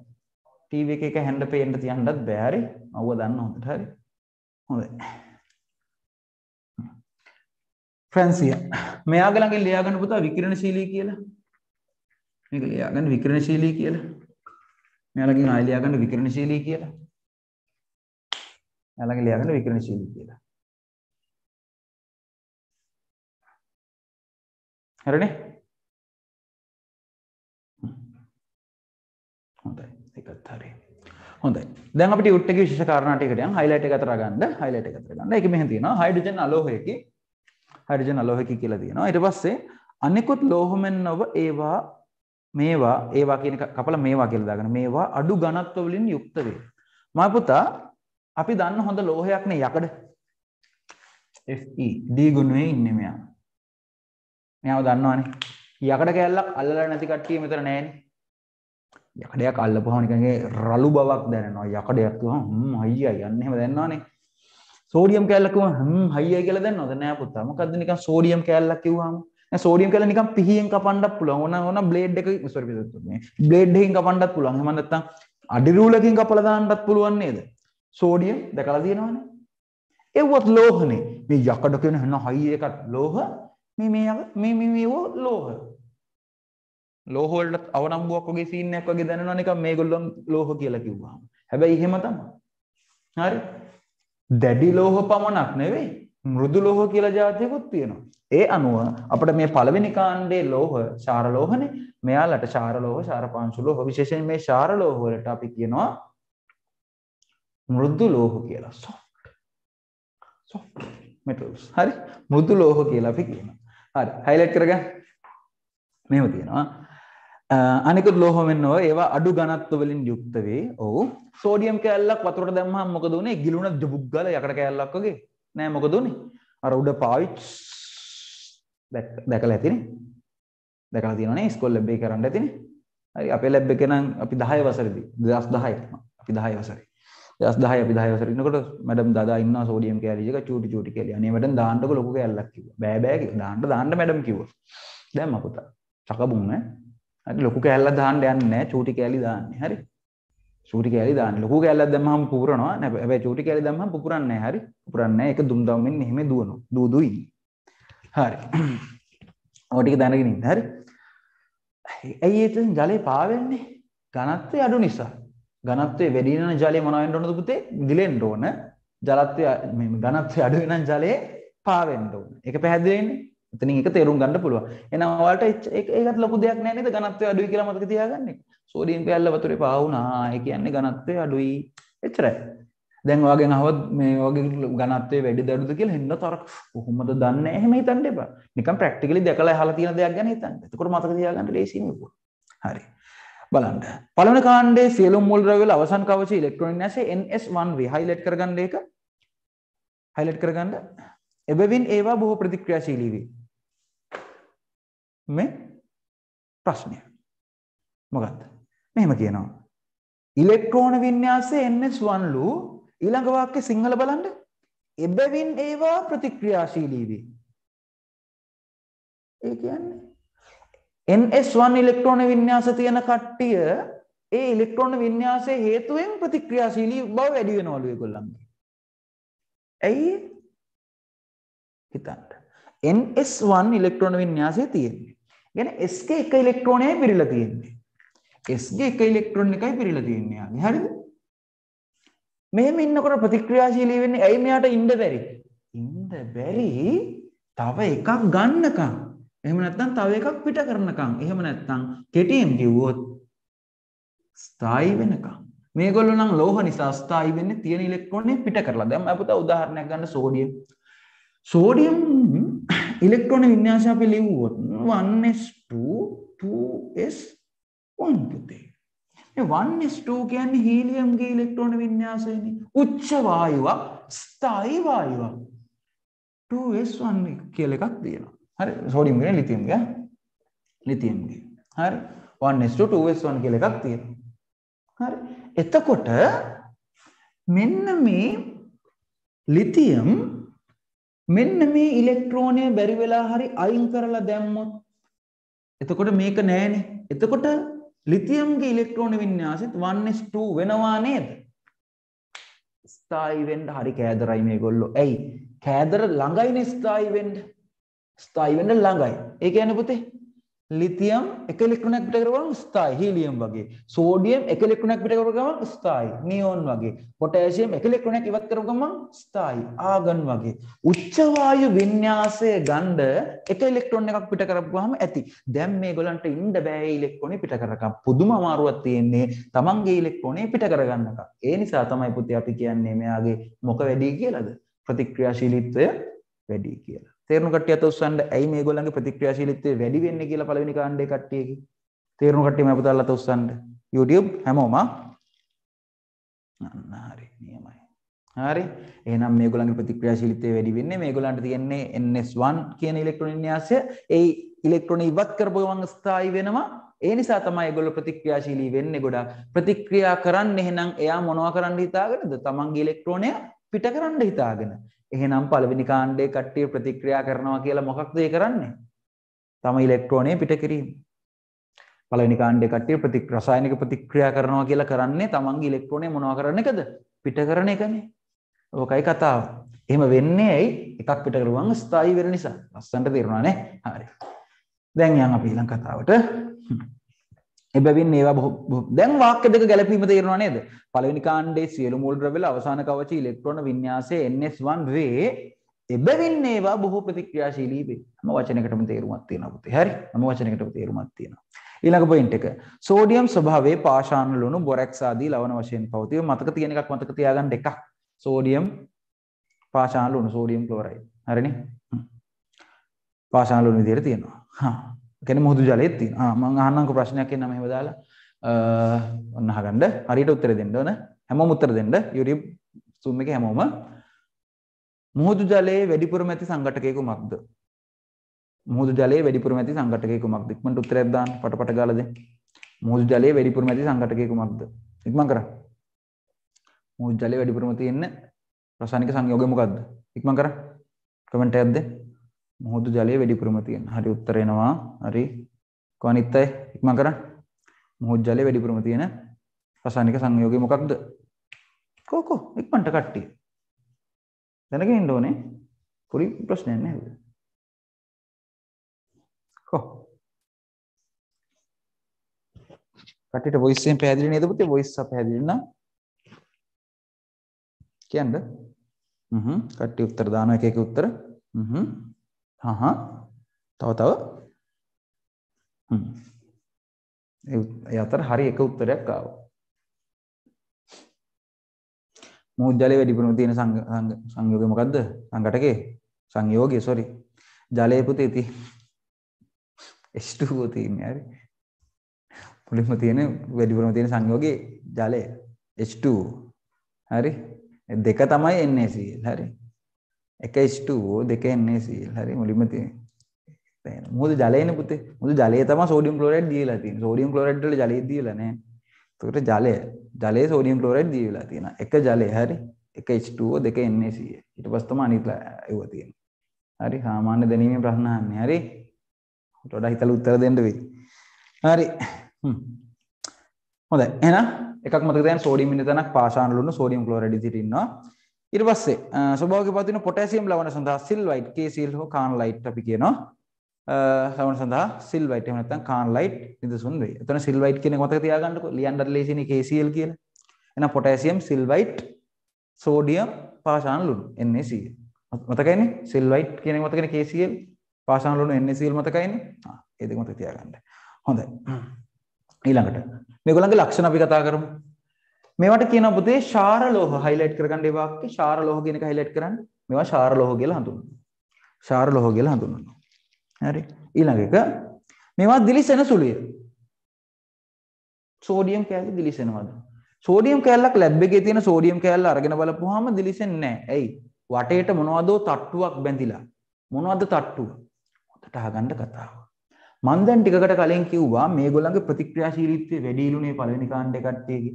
මේගොල්ලන්ගේ ප්‍රතික්‍රියාශීලීත්වය වැඩි නිසාම මෙයාලා මේ වායුගෝලයේ ඉන්න කට්ටියත් එක්ක ප්‍රතික්‍රියා කරනවා. ඉක්මනට කියන්න වායුගෝලයේ වැඩිපුරම ඉන්න වායුව මොකක්ද කියලා. ඉක්මනට කියන්න වායුගෝලයේ වැඩිපුරම ඉන්න වායුව මොකක්ද? ඉක්මනට ඔයගොල්ලෝ දන්නවා. 178ක් ඉන්නවා යා. ප්‍රතිශතයක් විදියට නයිට්‍රජන්. අම්මෝ ඔක්සිජන් කිව්වා ගියහන්කෝ එකේ. නයිට්‍රජන් 178ක් ඉන්නවා. ඔක්සිජන් ඉන්නේ 121යි. එහෙනම් මේ පළවෙනි කාණ්ඩේ සමහරු සමහරු මං කියන්නම් ඒ සමහරු කියන්නේ කවුද කියලා ඔය වායු ගෝලයේ ඉන්න නයිට්‍රජන් එක්ක ප්‍රතික්‍රියා කරනවා. ඒ වගේම පළවෙනි කාණ්ඩේ ලෝහ ශාර ලෝහ ඔක්කොම වගේ ඔක්සිජන් එක්ක ප්‍රතික්‍රියා කරනවා. කරලා නයිට්‍රයිඩ, ඔක්සයිඩ, පෙරොක්සයිඩ, සුපොක්සයිඩ වගේ ඔක්සයිඩ තට්ටු එහෙම නැත්නම් ලවණ තට්ටු හදනවා. එතකොට ඔයා ළඟ සෝඩියම් කෑල්ලක් මෙහෙම තිබ්බා කියලා හිතන්නකෝ. මේක උඩ තට්ටුවක් බැඳිලා එයාගේ දිලිසෙන ගතිය නැති වෙලා යනවා මේ. දැන් මේක දිලිසෙන සුදු පාටින් ඒක වැහෙනවා. මොකෙන්ද වැහුනේ? මගේ අතින්. මොකද්ද මගේ අත? මෙයා හදන ඔක්සයිඩේ හෝ නයිට්‍රයිඩේ හෝ මොකක් හරි ඒ සංයෝගය. එතකොට ඔයා ඔයාටද මේ සුදු පාට කොටස පේන්නේ නැහනේ. ඔයා හැබැයි මේ තට්ටුව අයින් කළොත් ඔයාට පේනවා දිලිසෙනවා කියලා. එනිසා මතක තියාගන්න බැලූ බැලමට මෙව දිලිසෙන දිලිසෙන වදියට පේන්නේ නැත්තේ වටේට වෙන තට්ටු බැඳිලා තියෙන නිසා. හැබැයි මේගොල්ලෝ ඇත්තටම ගත්තොත් මේගොල්ලෝ හොඳ ෂයින් ලෝහ ටික. හරි? හොඳ දිලිසෙන ලෝහ. කතාව තේරුම් කට්ටියත් උස්සන්න. ඇයි මේගොල්ලන්ගේ දිලිසම පේන්නේ නැත්තේ කියන එක තේරුණු දරුවෝ ටිකත් උස්සන්න. හරිනේ? කේගලගේ ප්‍රතික්‍රියාශීලීත්වය වැඩි කියන්නේ වායුගෝල කට්ටියත් එක්ක ප්‍රතික්‍රියා කරන ඉන්න බෑ. එම ඉන්නවන්නේ? හරි. හොඳ. මේවා දිලිසෙන සුළුයි. ඊළඟට මේවා ඉහළ විද්‍යුත් හා තාප සන්නායක වේ. ඒකත් හයිලයිට් කරගන්න. හොඳට විදුලියේ තාපය සන්නායනය කරන්න පුළුවන් ලෝහනේ පුතේ.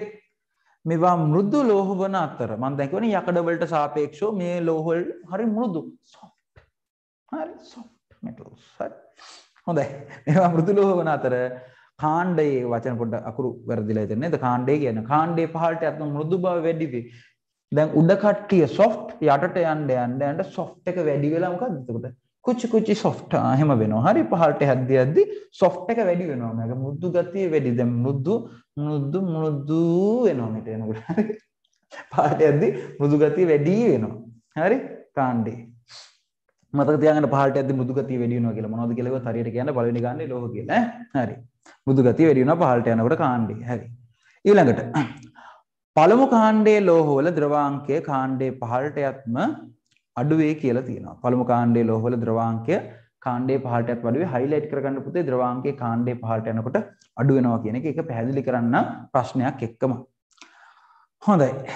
ඊළඟට මෙතන හයිඩ්‍රජන් ඇර මේගොල්ලෝ බන්ධන හදනකොට හැම වෙලාවෙම ඉලෙක්ට්‍රෝන එක ගානේ පිට කරන නිසා හැමෝගෙම ඔක්සිකරණාංකය කීයද පුතේ?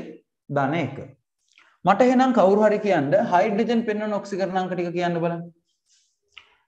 හයිඩ්‍රජන් ඇර අනිත් පළමු කාණ්ඩයේ ලෝහ ඔක්කොම බන්ධන හදනකොට ඉලෙක්ට්‍රෝන එක ගානේ පිට කරනවා. ඒ කියන්නේ ඔක්සිකරණාංකය ධන එක ඔක්කොන්ගේම හයිඩ්‍රජන්ගේ ඔක්සිකරණාංක මොනවද? දන්න කට්ටිය කියන්න මට. හයිඩ්‍රජන්ගේ ඔක්සිකරණාංක ටික මතක කට්ටිය මට කියන්න. පුතේ හයිඩ්‍රජන් සාමාන්‍යයෙන් අලෝහත් එක්ක ඉන්නකොට එයාගේ ඔක්සිකරණාංකය පුතේ ධන එක. ඒ කියන්නේ ඉලෙක්ට්‍රෝන පිට කරනවා. හැබැයි මෙයා ලෝහත් එක්ක ඉන්නකොට මෙයා ඍණ එක. උදාහරණයක් විදිහට ලිතියම් හයිඩ්‍රයිඩ් එක ගන්නකො. ලිතියම් හයිඩ්‍රයිඩ් එක. හරි. මෙහෙම ගත්තොත් ලිතියම් අනිවාර්යෙන් ධන එකන ඉලෙක්ට්‍රෝන පිට කරනවානේ. එතකොට හයිඩ්‍රජන්ට සිද්ධ වෙන ඉලෙක්ට්‍රෝන ගන්න. එතකොට පුතේ ඍණ එක යාගේ ඔක්සිකරණ අංකය. මෙයා අනිවාර්යෙන් ධන එක නම් අනිත් කෙනා මොකක් වෙන්න ඕනද ඉලෙක්ට්‍රෝන ගන්න එපා. එතකොට ඍණ 1. මෙයා ඉලෙක්ට්‍රෝන පිට කරනවා මෙයා ඉලෙක්ට්‍රෝන ගන්නවා. එකක් පිට කරනවා නම් මෙයාට එකක් ගන්න වෙනවා. නිසා මතක තියාගන්න මම මේක සාමාන්‍ය උගන්වන රසායනික ගණනයේ පාඩමේ පළවෙනි දවසේ මම මේක සාමාන්‍ය උගන්වන්නේ. හයිඩ්‍රජන් ලෝහත් සමග ඉන්නකොට එයාගේ ඔක්සිකරණාංකය ඍණ 1 අලෝහත් සමග ඉන්නකොට ඔක්සිකරණාංකය ධන 1 කොහෙන් හරි ලියා ගන්න අවශ්‍ය දරුවෝ ඉන්නවා. හරි? හයිඩ්‍රජන්ගේ ඔක්සිකරණාංක ධන 1 ඍණ 1 කියන දෙකම තියෙනවා. එයා ලෝහත් එක්ක ඉන්නකොට තමයි ඍණ 1 වෙන්නේ. අනිකුත් අලෝහත් සමග බැඳී ඉන්නකොට තමයි ධන 1 වෙන්නේ කොහෙන් හරි ලියා ගන්න අවශ්‍ය කට්ටිය ඔය කාරණාව හරි හයිඩ්‍රජන් හැර ලෝහ සියල්ලම ධනයක ඔක්සිකරණ අවස්ථාව පෙන්වයි. බොහෝ සංයෝග ස්ථායි හා අයනික සංයෝග වේ. ඒගොල්ලෝ ස්ථායි අයනික සංයෝග කියලායි කියන්නේ. හරි. ඔන්න එහෙනම් ඒ කතාව එතනින් පැහැදිලි. දැන් මම යනවා ඊළඟ කාරණාවට. අපි ඉක්මනින් වගේම පැහැදිලි කරමින් තමයි මේ ටික හොඳට ඉගෙන ගන්න ඕන පුතේ. හරි. ඔහේ දුවල වැඩක් නැහැ. හොඳට පැහැදිලි වෙන්න ඕන. අපේ ක්ලාස් එකේ තීම් එක දන්න කට්ටිය දන්නවා. මොකද ක්ලාස් එකේ තීම් එක හැමදාම ස්ලෝගන් එක යන්නේ අපේ. මොකද ස්ලෝගන් එක අපේ? තේරෙන්න උගන්නන පන්තිය. හරි මේක වචනයේ පරිසමාප්ත අර්ථයෙන්ම ඒ එසේම විය යුතුයි. හරි. එතකොට මම ඒකට ෆුල් කැප වෙනවා සියලුම කාරණා සුපිරියට පැහැදිලිව තේරුම් කරවන්න. ආලගෙත් ඒක තියෙනවා නම් අවශ්‍යතාවය තියෙනවා නම් ඒගොල්ලෝට දාගන්න වැඩේ ගොඩ ෂුවර් හරි. ඒ වගේ එහෙම ටාගට් එකකින් ඔයා වැඩ කරනවා නම් මගේ වැඩෙත් එක්ක අපේ දෙන්නගේ සීක්වන්ස් දෙක සමාන මොකක්ද ෆ්‍රීකවන්සි දෙක සමාන වෙලා වැඩේ ලස්සනට යනවා. නැත්තම් ඔක ට්‍රැක පැන්නොත් ඔයා පැන්නොත් ඒත් ඉවරයි මම ට්‍රැක පැන්නොත් ඒත් ඉවරයි අපි දෙන්නම පැන්නොත් කොහොමත් ඉවරයි. හරි? දෙන්නම එක ට්‍රැක් එකේ යන්න ඕන. හරි? හොඳයි. මේ විදිහට තමයි පුතා. එතකොට අපි කතා කරේ මුල් ටික. හොඳයි. හරි. ඒ කතාව එතනින් අවසానයි කාණ්ඩේ පහළට ගිය නිසා තව කාරණාවක් දෙකක් කියලා මේක අවසන් කරන්න. ඊළඟ සෙෂන් එක ඊළඟ කොටසට යන්න කලින්. පුතා මම අහන ප්‍රශ්නයක් විභාග ප්‍රශ්නයක්. හරි? පළමු කාණ්ඩේ ඕනම කාණ්ඩයක ඕනම කාණ්ඩයක පහළට යනකොට පරමාණුක අරය වැඩි වෙනවද අඩු වෙනවද? ඉක්මනට උත්තරයක් දෙන්න. කාණ්ඩයක් ඔස්සේ පහළට යනකොට පරමාණුක අරය වැඩි වෙනවද අඩු වෙනවද? ඉක්මනට උත්තරයක් දෙන්න මම පුතාලා. කාණ්ඩයක් ඔස්සේ පහළට යනකොට පරමාණුක අරය වැඩි වේද? පරමාණුක අරය අඩු වේද? ඉක්මනට උත්තරයක් දෙන්න වැඩි වේ කියලා උත්තර වගේක් එනවා. හ්ම්. වැඩි වේ වැඩි වේ වැඩි වේ. හරියට හරි. වැඩි වේ තමයි. එක මතකයි. පළවෙනි පාඩමේ කාරණාවක් මතකයි. හොඳ ළමයි. ආ? කාණ්ඩේ පහළ යනකොට ඒ ඔයගොල්ලන්ගේ. හරි? මතකේ හොඳයි. කාණ්ඩයක් ඔස්සේ පහළට යනකොට පරමාණු කාර්යය වැඩි වෙනවා. හරි. දෙවෙනි එක. හරිම උත්තරය ඕන. මාකින් ස්ක්‍රීන් එකේ ලකුණ දෙන උත්තරේම ඕනේ වෙන වෙන උත්තර බෑ ඇයි මේ YouTube එකේ කට්ටිය කමෙන්ට් දාන්න නැත්තේ දාන්න ඕන හරි ආ ඔයගොල්ලන් පොඩ්ඩක් ඩිලේ වෙලානේ ඇහෙන්නේ නේ ඒක හරි කමන්නේ Zoom එක කට්ටියට තමයි කියනකොටම ඇහෙන්නේ YouTube එක කට්ටියට තප්පර ගණනක ඩිලේ එකක් තියෙනවා ඔන්න ප්‍රශ්න දෙවෙනි එක. කාණ්ඩයක් ඔස්සේ පහළට යන විට පරමාණුකාරය වැඩි වේ. ඔව් නිවැරදි ලකුණු හම්බ වෙනවා. දෙක වැඩිම ලකුණු දෙන ප්‍රශ්නය. කාණ්ඩ ඔස්සේ පහළට යෑමේදී පරමාණුකාරය වැඩි වීමට හේතුව සඳහන් කරන්න. කරන්න බලන්න. කාණ්ඩයක් ඔස්සේ පහළට යනකොට පරමාණුකාරය වැඩි වෙන්න හේතුව සඳහන් කරන්න. ඉක්මන් කරන්න. හේතුව කියන්නේ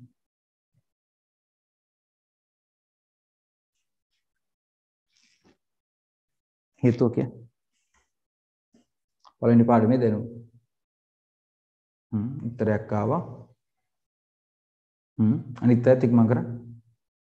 ඒ කාණ්ඩයක් ඔස්සේ පහළට යනකොට පරමාණු කාර්යය වැඩි වෙන්නේ. හේතුව කියන්නේ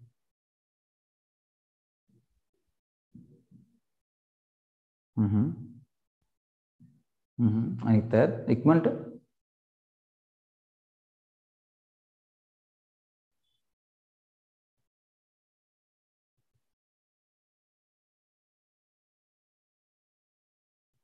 මොකක්ද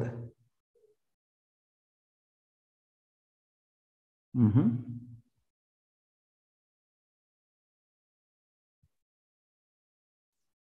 හ්ම් තාම හරි උත්තර එකක්වත් ආවේ නැහැ. ඒ කියන්නේ දැන් උත්තර දුන්න කට්ටිය දැනගන්න තමන්ගේ උත්තරේට ලකුණු හම්බෙන්නේ නැති බව. අද දවසේ මේ ස්පීඩ් වලට වඩා පළවෙනි පාඩමට වැදගත් වගේ නේ මට පේන්නේ. හරි? වැඩ ගොඩක් කරන්න වෙයි. හ්ම් තාම ආවේ නැහැ උත්තරය. එක එක විදිහේ උත්තර එනවා YouTube එකේ කට්ටිය. YouTube එකේ කට්ටිය ටිකක් මොකෝ zoom එක කට්ටිය තමයි උත්තර දෙන්නේ. දෙපිලකට බෙදලා ඉන්නේ YouTube versus zoom. දැන් zoom කට්ටිය තමයි උත්තර දෙන්නේ. YouTube කට්ටිය උත්තර නැහැ. මදි. කිහිප දෙනයි දෙන්නේ. අම්මා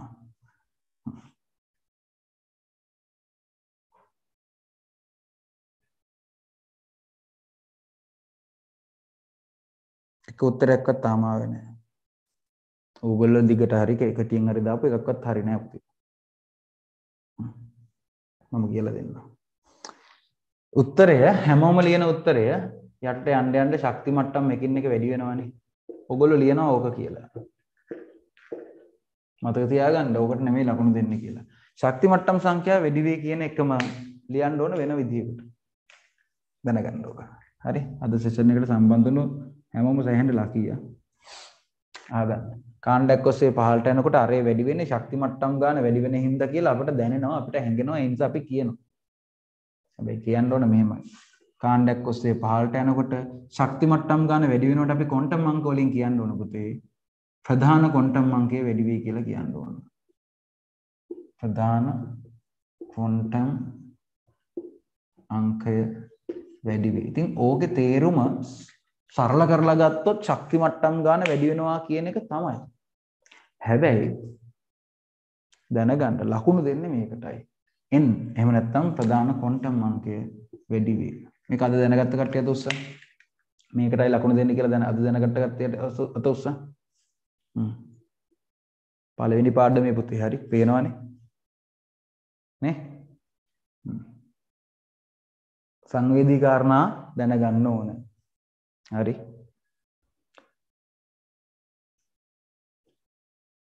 අපි ඔය ටියුෂන් එකේ පුතේ අත්දැකීම් වැඩි ගුරුවරුන්ට ගරු කරන්න හේතුවක් තියෙනවා. හරි. අත්දැකීම් වැඩි ගුරුවරුන්ට ගරු කරන්න අපි හේතුවක් තියෙනවා. හේතු කාරණා තමයි ඒගොල්ලෝ විශේෂ කාලයක් එක්ක ඉඳලා ඉඳලා ඒගොල්ලෝ ඒක අධ්‍යයනය කරලා තියෙනවා. හරි. එහෙම නැත්නම් ඒ විෂයට අදාළ සුදුසුකම් තියෙන කට්ටිය උගන්වන්න ඕන කියන්නේත් ඕකයි. විෂය කාරණා හොඳට ගවේෂණය කරලා තියෙන්න ඕන. A levels කරපු ගමන් එකපාරම පුතා A levels උගන්වන්න ආපුවාම තියෙනවා පොඩි පොඩි ප්‍රශ්න. හරි? හරි. ප්‍රශ්න තියෙනවා. දැන් ඕගොල්ලෝ මටත් දැනෙනවා ඒක ඕගොල්ලන්ට ඒගොල්ලෝ ඒවට ෆේස් කරලා තියෙනවා කියලා. හරි? මේ කාරණා දැනගන්න මේ සංවේදී කාරණා මොනවද ලකුණු දෙන්නේ මොනවද ලකුණු දෙන්නේ නැත්තේ කියලා හරියට තිතර දශමයට ඔයා දැනගන්න ඕන. ඔයා දැනගන්න නැත්නම් ඔයා ගුරුවරයාට ඔයාට උගන්වන්න ඕන. මම පාසල් ගුරුවරු දන්නවා. හරි? පාසල් ගුරුවරු මේව දන්නවා. හරි. මම දැනගන්න. නැත්නම් අත්දැකීම් බහුල ගුරුවරු මේව දන්නවා. නැත් අත්දැකීම් බහුල නැති වුණත් විෂය හොඳට හදාarලා තියෙන කට්ටිය සිලබස් එක ගැන අවබෝධයක් තියෙන කට්ටිය මාකින් ස්කීම්ස් කියවන හරි රිසෝස් බුක්ස් කියවන ටීචර්ස් ගයිඩ් කියවන ඒ වලින් හරියට නෝට් එක හදන ඒ වගේ ඒවට අනුව විතරක් උගන්න ගුරුවරු තමයි මේ පොයින්ට්ස් හරියට දන්නේ ඔයාලට කියලා දෙන්නේ. ඔයාලගේ පාසල් ගුරුවරුන් ඉනහන්න ඒගොල්ලෝ මේව දන්නවා. හරි? මතක තියාගන්න එහෙනම් පුතේ ප්‍රධාන ක්වොන්ටම් අංකයේ වැඩි වී කියන එකටයි ලකුණු හම්බෙන්නේ අලුත් සිලබස් එක අනුව. හරි ඒව දැනගන්න. සංවේදී වෙන්නේ කාරණාවලට. පළවෙනි පාඩමේ කොටසක් කියලා දුන්නේ. හරි. වෙන එක කතාවක්වත් නෙමෙයි. මේකේ තේරුම ශක්ති මට්ටම් සංඛ්‍යාව වැඩි වේ කියන එක තමයි. හරි. හැබැයි ඒකට ලකුණු දෙන්නේ මෙහෙම ලිව්වොත් ප්‍රධාන ක්වොන්ටම් අංකය වැඩි වේ කියන එක. හරි. හොඳයි. ඔක්කොම හරි ලියා ගන්න පුතේ. එහෙනම් එන්නකොට ටියුට් එකේ දෙවෙනි පිටුවට ටියුට් එකේ දෙවෙනි පිටුවේ මෙහෙම තියෙනවා. බලන්න ටියුට් එකේ දෙවෙනි පිටුවේ වගුවක් තියෙනව නේද? ටියුට් එකේ දෙවෙනි පිටුවේ වගුවක් තියෙනවා. වගුවේ යට මෙහෙම තියෙනවා පුතේ. ලිතියම් සිට සීසියම් දක්වා අයනීකරණ ශක්තිය අඩුවීමට හේතු වන්නේ ප්‍රධාන ක්වොන්ටම් අංකය නැත්තම් ශක්ති මට්ටම් සංඛ්‍යාව වැඩි වෙන බැවිනි. ප්‍රධාන ක්වොන්ටම් අංකය කියන එක හයිලයිට් කරගන්න. හරි. ඊට පස්සේ ලියා ගන්න එතනින් පොඩි ඉඩක් තියෙනවා එතනින් ලියා ගන්න. අරය අඩුවන්නේද අරය වැඩිවන්නේද මෙම හේතුව නිසායි කියලා. අරය වැඩිවන්නේද මෙම හේතුව නිසායි කියලා ලියා ගන්න. අරය වැඩිවන්නේද මෙම හේතුව නිසායි කියලා ලියා ගන්න. අරය වැඩිවන්නේද මෙම හේතුව නිසාය. අරය වැඩිවන්නේද මෙම හේතුව නිසාය.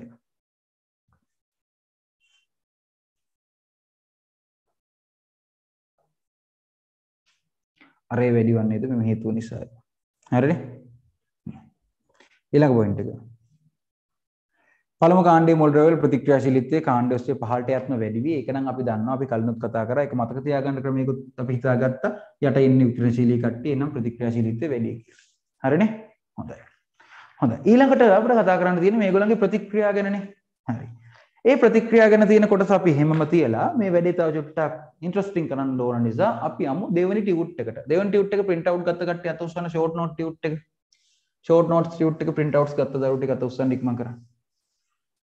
Print out ගත්තේ නැති අය ඇත්තති හරි? print out ගත්ත අය ඇත්තති ගන්නව නම් හොඳයි පුතේ. හරි? ඒකේ වියදම ගැන හිතන්න එපා print outs ගන්න යන. ක්ලාස් එකකට ගියා නම් ෆී එකක් දෙන්න ඕනේ දැන් මේ ක්ලාස් එකට ෆී එකක් දෙන්න ඕනේ නැහැනේ මේක ෆ්‍රී නේ ඒ මුදල් පාවිච්චි කරලා ටියුට් එක print කරගන්න. කීප දෙනයි ටියුට් එක print කරගෙන මම හොඳට දන්නවා. හරි?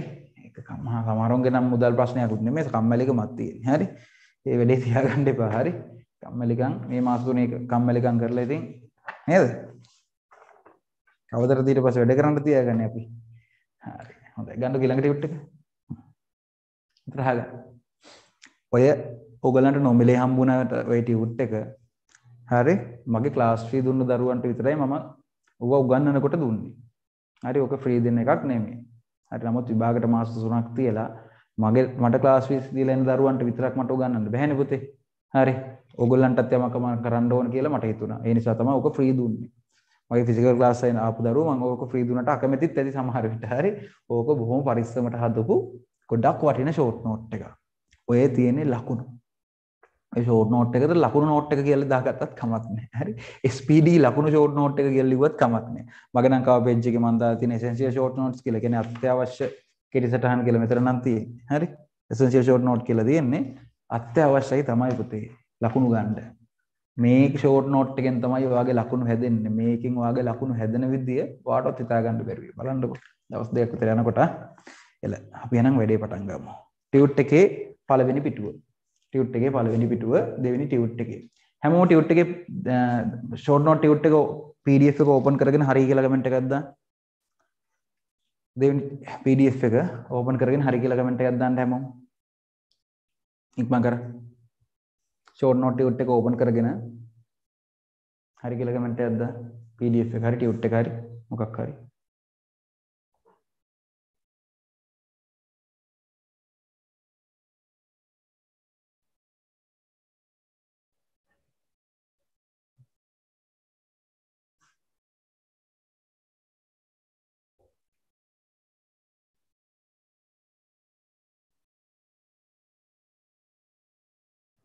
YouTube live join වෙනවා කියලා 48 දෙනෙක් වෝට් කරලා තියෙනවා. Zoom එකේ join වෙනවා කියලා 10 දෙනයි වෝට් කරලා තියෙන්නේ. හැබැයි ඒක වෙනස් වෙලා.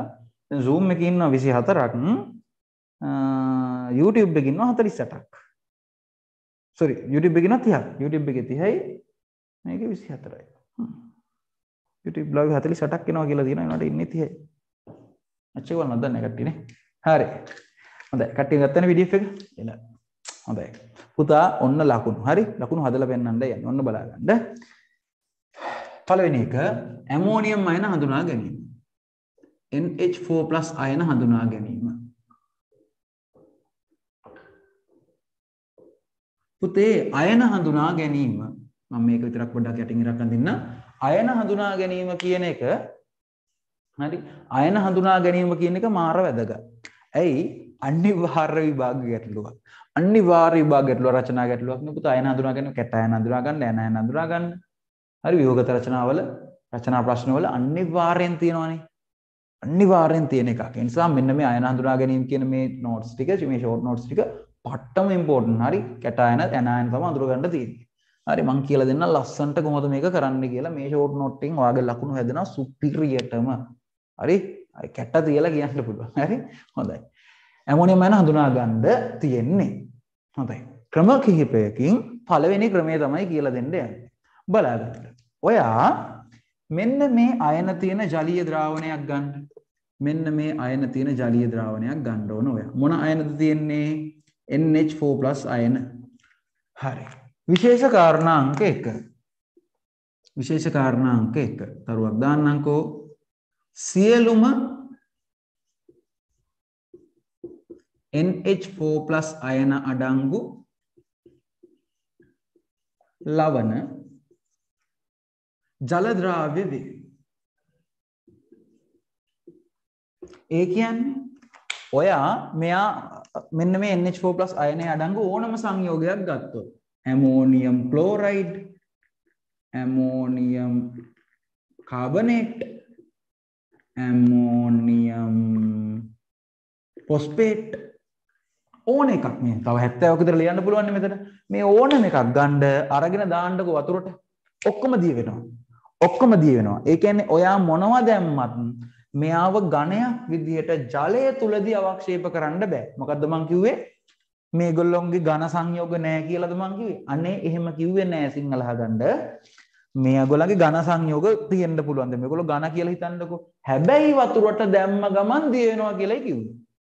එනිසා සියල්ල හොඳ මේ ඇමෝනියම් අයන සියල් ඇමෝනියම් ලවණ සියල්ල හොඳින් ජල ද්‍රාව්‍ය වේ එකක්වත් අවක්ෂේප වෙන්නේ හොඳට දිය වෙනවා එහෙනම් කවදාවක්වත් NH4+ අයන අඩංගු සංයෝගයක් ජලයේ ද්‍රාවණයක අවක්ෂේපයක් විදිහට වැඩ ගන්න පුළුවන්ද පුතේ?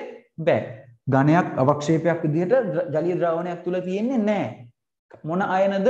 NH4+ අයන. ඒක තේරුම් දරුවෝ ටිකක් ඔස්සන් ටිකමන්ට. NH4+ අයන අඩංගු ඕනම ලවණයක් වතුරට ඕනම ඝනයක් වතුරට දැම්ම ගමන් දී වෙනවා කියන එක තේරුම් දරුවෝ ටිකක් ඔස්සන්. අවුලක් නැහැනේ. ආයෙ මතක අමතක වෙන්න බෑ ඒක. හරි දී වෙනවා. එකක්වත් අවක්ෂේප වෙන්නේ නැහැ. ඒ නිසා අවක්ෂේප ක්‍රම වලින් අඳුර ගන්නත් බෑ. හරි අවක්ෂේප ක්‍රම වලින් අඳුර ගන්නත් බෑ. මොනවද දාලත් මූ අවක්ෂේප කරන්න බෑ වතුරේ. හරි වතුරේ අවක්ෂේප කරන්න බෑ මෙයාව. එතකොට අපිට තියෙන්න ඕන වෙන ක්‍රමයක් මෙයාව අඳුර ගන්න. මොකක්ද අපිට තියෙන වෙන ක්‍රමය මෙයාව අඳුර ගන්න? ඔන්න බලන්න. අපිට පුළුවන් මෙයාට දාන්න භස්මයක්. මොනවද දාන්නේ පුතේ භස්මයක්. ඔයා දන්න ලෝක ප්‍රසිද්ධ එහෙම නැත්නම් අපි හොඳටම වැඩිපුරම පාවිච්චි කරන භස්මය මොකද්ද පුතේ? සෝඩියම් හයිඩ්‍රොක්සයිඩ් හෝ අපිට ඕන පොටෑසියම් හයිඩ්‍රොක්සයිඩ්ගේ භස්මයක් දාන්න පුළුවන් කැල්සියම් හයිඩ්‍රොක්සයිඩ් මොකක් හරි භස්මයක් දානවා. ඒක අදාළ නැහැ වර්ගය මොකක්ද කියලා OH- අයන තමයි ඉන්න ඕනේ. හරි? භස්මයක් දානවා. පුතේ භස්මයක් දැම්මහම මරු වැඩක් වෙනවා. NH4+ අයන අඩංගු ජලීය ද්‍රාවණයකට ශාරයක් එහෙම නැත්නම් භස්මයක් යෙදූ විට එයින් ඇමෝනියා වායුව පිට වේ.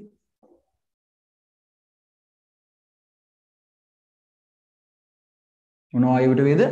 ඇමෝනියා වායුව පිට වේ. ආ හැමෝම දැන් හඬ නගලා කියන්නේ හිමීට කියන්නේ ගෙදර කට්ටේ නිදිලා. කොහොමද කියන්නේ? මොනවා අඩංගු ජලීය ද්‍රාවණයකටද? ටයිප් කරන්න එපා ඈ කටින් කියන්නේ. මොනවා අඩංගු ජලීය ද්‍රාවණයකටද? ඇමෝනියම් අයන අඩංගු ජලීය ද්‍රාවණයකට. මොකක්ද? ඇමෝනියම් අයන අඩංගු ජලීය ද්‍රාවණයකට මොනවා දැම්මොත්ද? භස්මයක් දැම්මොත්. මොකක්ද දැම්මොත්ද? භස්මයක් දැම්මොත්. මොන වායුව පිට වේද? ඇමෝනියා වායුව පිට වේ. මොන වායුව පිට වේද පුතේ? ඇමෝනියා NH3 එහෙම නැත්නම් ඇමෝනියා වායුව පිට වේ. ආයෙත් එකපාරක් කියන්න මොන අයන අඩංගුද? NH4+ අයන අඩංගු ජලීය ද්‍රාවණයකට සෝඩියම් හයිඩ්‍රොක්සයිඩ් වැනි භස්මයක් යෙදූ විට මොන වායුවද පිට වෙන්නේ? ඇමෝනියා වායුව පිට වේ. තේරුම් කට්ටියත් ඔස්සන්න කතාව. මේ කතාව තේරුම් කට්ටියත් ඔස්සන්න අවුලක් නැහනේ. හරි? හා. ඊළඟට ඔන්න අහගන්නකො කතාව. මේක පාටක් නැති නිකම්ම ජලීය ද්‍රාවණයකට මේ සෝඩියම් හයිඩ්‍රොක්සයිඩ් දැම්මා කියලත් පාටක් එන්නේ නැහැ. මේකත් අවර්ණයි. පිට වෙන ඇමෝනියා වායුවටත් පාටක් නැහැ. පිට වෙන ඇමෝනියා වායුවටත් පාටක් නැහැ. එහෙනම් ඔයයි මායි කොහොමද අනේ දැනගන්නේ පිට වෙලා ගියේ ඇමෝනියා කියලා යද්දි යනවද? මට N1යි H3යි කියාගෙන යනවද? NH3 කියලා හොයන්න නෑනේ. මම ඇමෝනියා මචං කියාගෙන යනවද? නෑනේ. එහෙනම් කොහොමද මේක ඇමෝනියාමයි කියලා කියන්නේ? වායුවක් පිට වෙන එක නම් හොයාගන්න පුළුවන්. දැන් මේකට නිකන් සැර ගඳක් තියෙනවා. කියන කටුක ගන්ධයක් සහිතයි කියලා. හරි. ඇමෝනියාට කටුක ගන්ධය තියෙනවා. මාර සැර ගඳක් තියෙනවා. මගේ ප්‍රැක්ටිකල් සෙමින එකට ගම්පහ ආපු කට්ටිය ඉන්නවද මෙතන? මගේ ගම්පහ ප්‍රැක්ටිකල් සෙමින එකට ආපු කට්ටිය ඉන්නවද චුට්ටක් උස්සන්න පුතේ? මම ගම්පහ ලංකාවේ පළවෙනි ප්‍රැක්ටිකල් සෙමින එක කරා. හරි? ප්‍රැක්ටිකල් සෙමින එකක් කරා ෆ්‍රී ළමයින්ට. අපු සෙට් එකේ ඉන්නවනේ අයින්ස්ටයින්. ආ මේ ඉන්නේ. ආ කොල්ල තියෙනවද? අයින්ස්ටයින්. තව කවුරු ඉන්නවද මෙතන මගේ ප්‍රැක්ටිකල් සෙමින එකට ආපු කට්ටිය? හරි? මම ඒක ෆ්‍රී කළේ ලංකාවේ ඕන කෙනෙක්ට එන්න පුළුවන් කියලා ඇඩ් කළා. දකින්න ඇති සමහරවිට දකින්න ඇති කට්ටිය. ඉතින් කීප දෙනා ආ සතුනි සතුනි ආවේ නෑ නේද ඇඩ් එක මං එවලත් නේ. හරි? ඒකෙදි ආපු කට්ටිය චුට්ටක් දන්නවා මේක සිද්ධිය. හරි? එතන මට උදව් කරන්න එහෙම හිටපු කට්ටියත් මේක හොඳට දන්නවා. ඇමෝනියා ගෑස් එක එතන බොටල් එක ඕපන් කරනකොට ආවා පුතා ගඳක් ආයි සුපිරිම මේ සැර ගඳම තමයි. ඒ ගඳාව නම් ඇමෝනියා කටුක ගන්ධයක් තියෙනවා කියලා අමතක වෙන්නෙම නැහැ. හරි? ඇමෝනියා කටු ගන්ධයක් තියෙනවා කියලා අමතක වෙන්නේ නැහැ ඒකට ආවන. හරි? ඒ කියන්නේ ඒක ස්මෙල් වුණ කෙනෙක් නම්. හරිද? ඇමෝනියා කියලා කටුක ගන්ධයක් තියෙනවා. එහෙනම් දරුවෙක් මට මෙහෙම කියනවා. සර් ඔය පිට වෙන්නේ ඇමෝනියා කියලා අපි මෙහෙම අඳුරගමු. කටුක ගන්ධයක් සහිත නිසා ඇමෝනියා වායුව කියලා ලියමු කියලා. ඒක උත්තරයක් විදිහට පිළිගන්නවද නැද්ද? ඒක උත්තරයක් විදිහට පිළිගන්නවද නැද්ද? ඇමෝනියාව අඳුරගන්න එහි කටුක ගන්ධය බෑ පිළිගන්න බෑ. ඇයි? පුතේ අපේ සිලබස් එකේ කටුක ගන්ධයක් තියෙන වායු කිහිපයක් තියෙනවා. NO2 වායුව රතු නුඹුරු පාටයි වගේම කටුක ගන්ධයක් සහිතයි. NH3 වායුව කටුක ගන්ධයක් සහිතයි. SO2 වායුව කටුක ගන්ධයක් සහිතයි. ඔය වගේ වායු කිහිපයක් තියෙනවා කටුක ගන්ධයක් සහිත. හරි. ඉතින් කටුක ගන්ධයක් සහිතයි කිව්වම ඒක ඇමෝනියාමයි කියලා අපිට කන්ෆර්ම් කරලම කියන්න පුළුවන්ද? කටුක ගන්ධයක් ගියා නම් ඇමෝනියාමයි කියලා බෑනේ. එහෙම අපිට කියන්න බෑ. ඒ නිසා එහෙම අඳුරගන්න බැරි අයට හඳුනා ගැනීමේ පරීක්ෂණ තියෙනවා. ඇමෝනියාමද කියලා ටෙස්ට් කරන්න පරීක්ෂණ. දැන් සිලබස් එක දන්න කට්ටිය හරි කියන්න ඇමෝනියා වායුව අඳුනා ගැනීමේ ක්‍රම කීයක් සිලබස් එකේ තියෙනවද? සිලබස් එක ගැන පට්ට පර්ෆෙක්ට් නොලෙජ් එකක් තියෙන්න ඕන පුතා ඒකක් ගන්න. හරි? හරියට හරි. ඔය ඉන්නේ එකේ මගේ පන්තියේ ඉන්නේ එකේ මේ උඹයි පුතේ ඔන්ලයින් එකට සෙට් උනේද මේක දන්නේ කලින් ඉරගෙන තියෙනවනේ. ආතල් එකටද? හරි. අන්න හරි. කීයක් තියෙනවද පුතේ? හරියට හරි. හරි. මතක තියාගන්න දන්නේ නැති කට්ටිය ඇමෝනියා වායුව අඳුනා ගැනීමේ ක්‍රම මෙච්චරයි තියෙන්නේ. කීයද? 3යි තියෙන්නේ. තුනම දැනන් ඉන්න ඕන හරියට. පළවෙනි ක්‍රමය. දන්න කට්ටියට කමෙන්ට් කරන්න පුළුවන්. පළවෙනි ක්‍රමය. ඇමෝනියාව පිට වෙන්නේ ඇමෝනියාමයි කියලා අඳුනා ගන්න ක්‍රමය. දැන් මම ප්‍රැක්ටිකල් එකේදී කරලා පෙන්වන්න බැලුවා. නෑ කරලා පෙන්වන්නේ නෑ. ඇමෝනියා වායුව හඳුනා ගැනීම කර කරේ නැද්ද මන්ද නේ? ඔව්. හරි. අපි බලමු ඇමෝනියා වායුව හඳුනා ගැනීමේ ක්‍රම. NH3 වායුව හඳුනා ගැනීමේ ක්‍රම. කීයක් තියෙනවද තමයි පුතේ? ගානත් එක්කම දැනගන්න හරියටම තුනක් තියෙනවා. තුනෙන් පළවෙනි එක. පළවෙනි ක්‍රමය. හරි අවශ්‍යයි කමෙන්ට් කරන්න පුළුවන් මම අනිත් අයට කියලා දෙනකම්.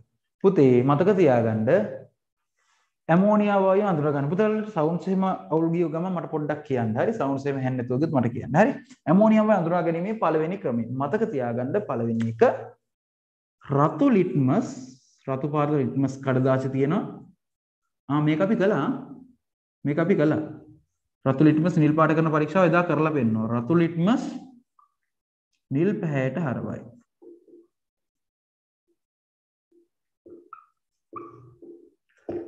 රතු ලිට්මස් වල වර්ණය නිල් පැහැයට හරවනවා පුතේ. ඒ කියන්නේ දැන් රතු පාට ලිට්මස් කඩදාසියක් තිබ්බ අපි NH3 ගෑස් එකකින් NH3 ගෑස් එක රිලීස් වෙන තැන ඒ රිලීස් වෙනකොට අපි උඩින් රතු පාට ලිට්මස් කැල්ල තිබ්බට ඒක ටික වෙලාවකින් ඒ ලිට්මස් කඩදාසිය මොන පාට වුණාද? නිල් පාට වුණා. ඒ ලිට්මස් කඩදාසිය මොන පාට වුණාද? නිල් පාට වුණා. හරි එහෙනම් රතු ලිට්මස් මොන පැහැයට හරවනවද පුතේ? නිල් පැහැයට හරවනවා. හරි. ඔන්න පළවෙනි එක. හරි. හරි අපරාධ දෙන්න පුතා බැටරිස් ටික රිප්ලේස් කරන්න.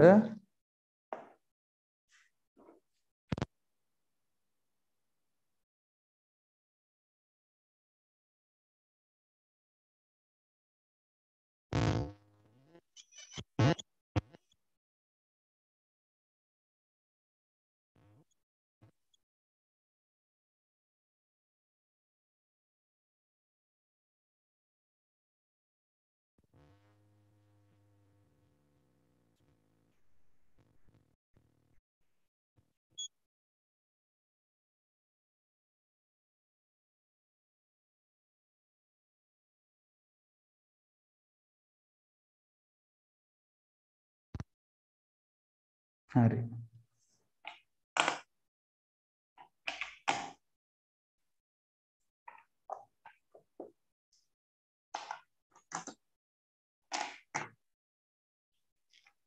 හොඳයි පුතේ. පළවෙනි එක එහෙනම් රතු ලිට්මස් නිල් පාට කරනවා. ඔක තමයි පළවෙනි එක. දෙවෙනි එක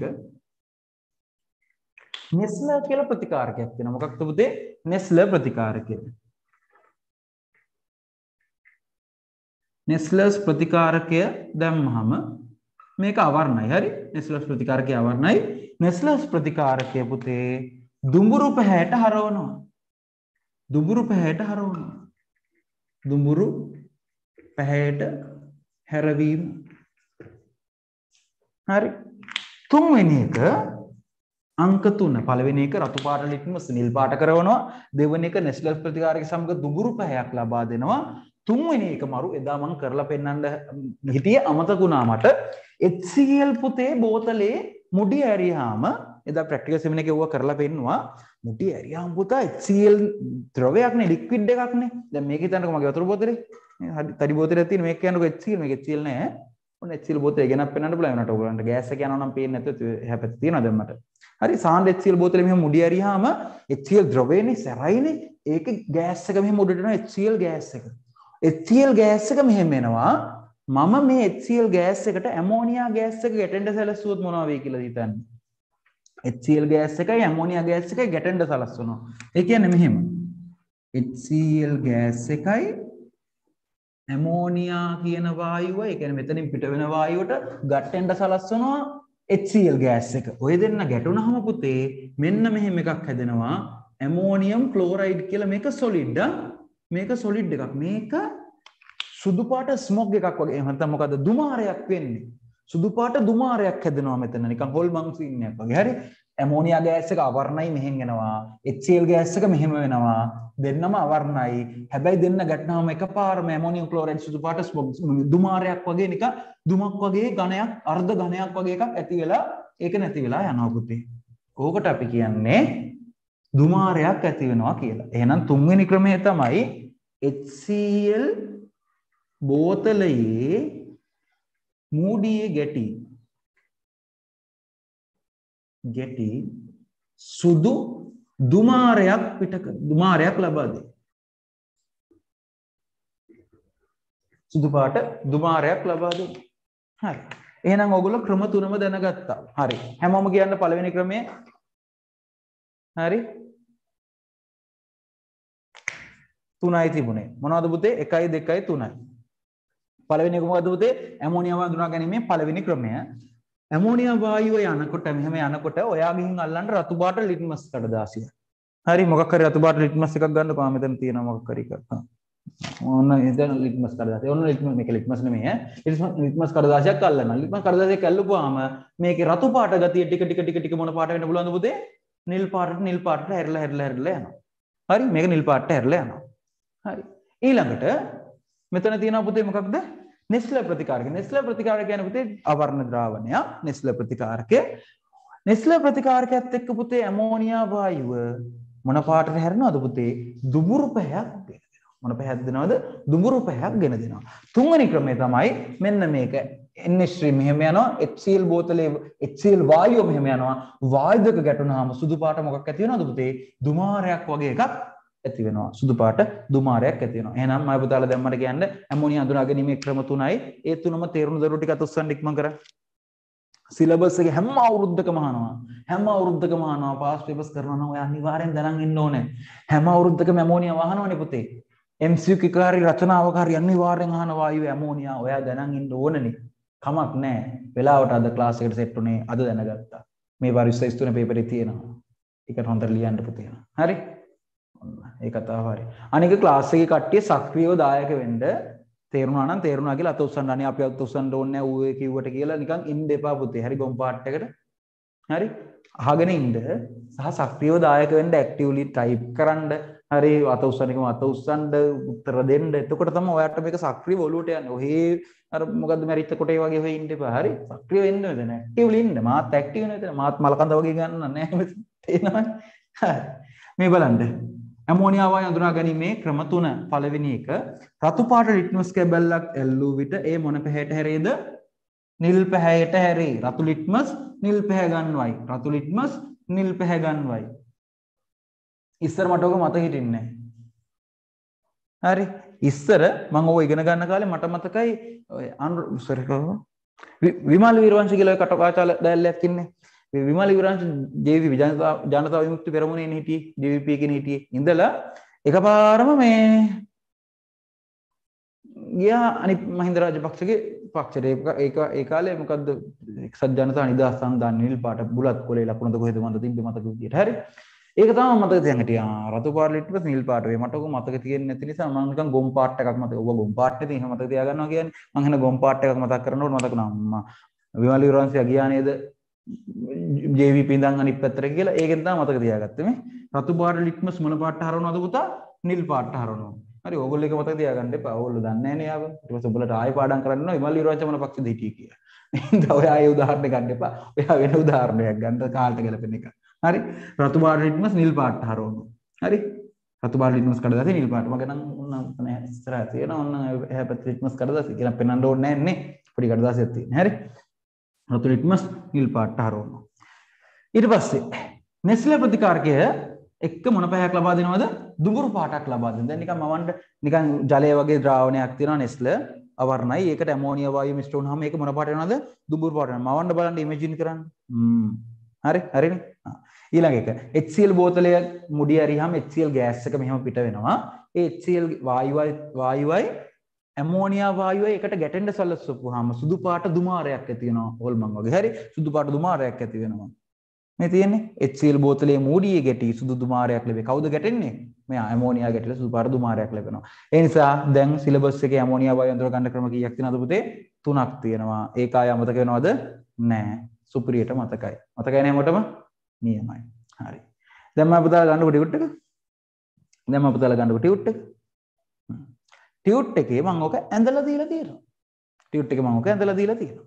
හරි. දැන් බලන්න ජලීය ද්‍රාවණයක් තියෙනවනේ උතන. ටියුට් එකේ පේනව නේද? ජලීය ද්‍රාවණයක් තියෙනවා ඇමෝනියම් ක්ලෝරයිඩ් හෝ ඇමෝනියම් කාබනේට් ඕනම එකක් තියෙන්න පුළුවන්. මේ තියෙන්නේ. ඒකට බස්මයක් දානවා ඊතලේ පේනවද?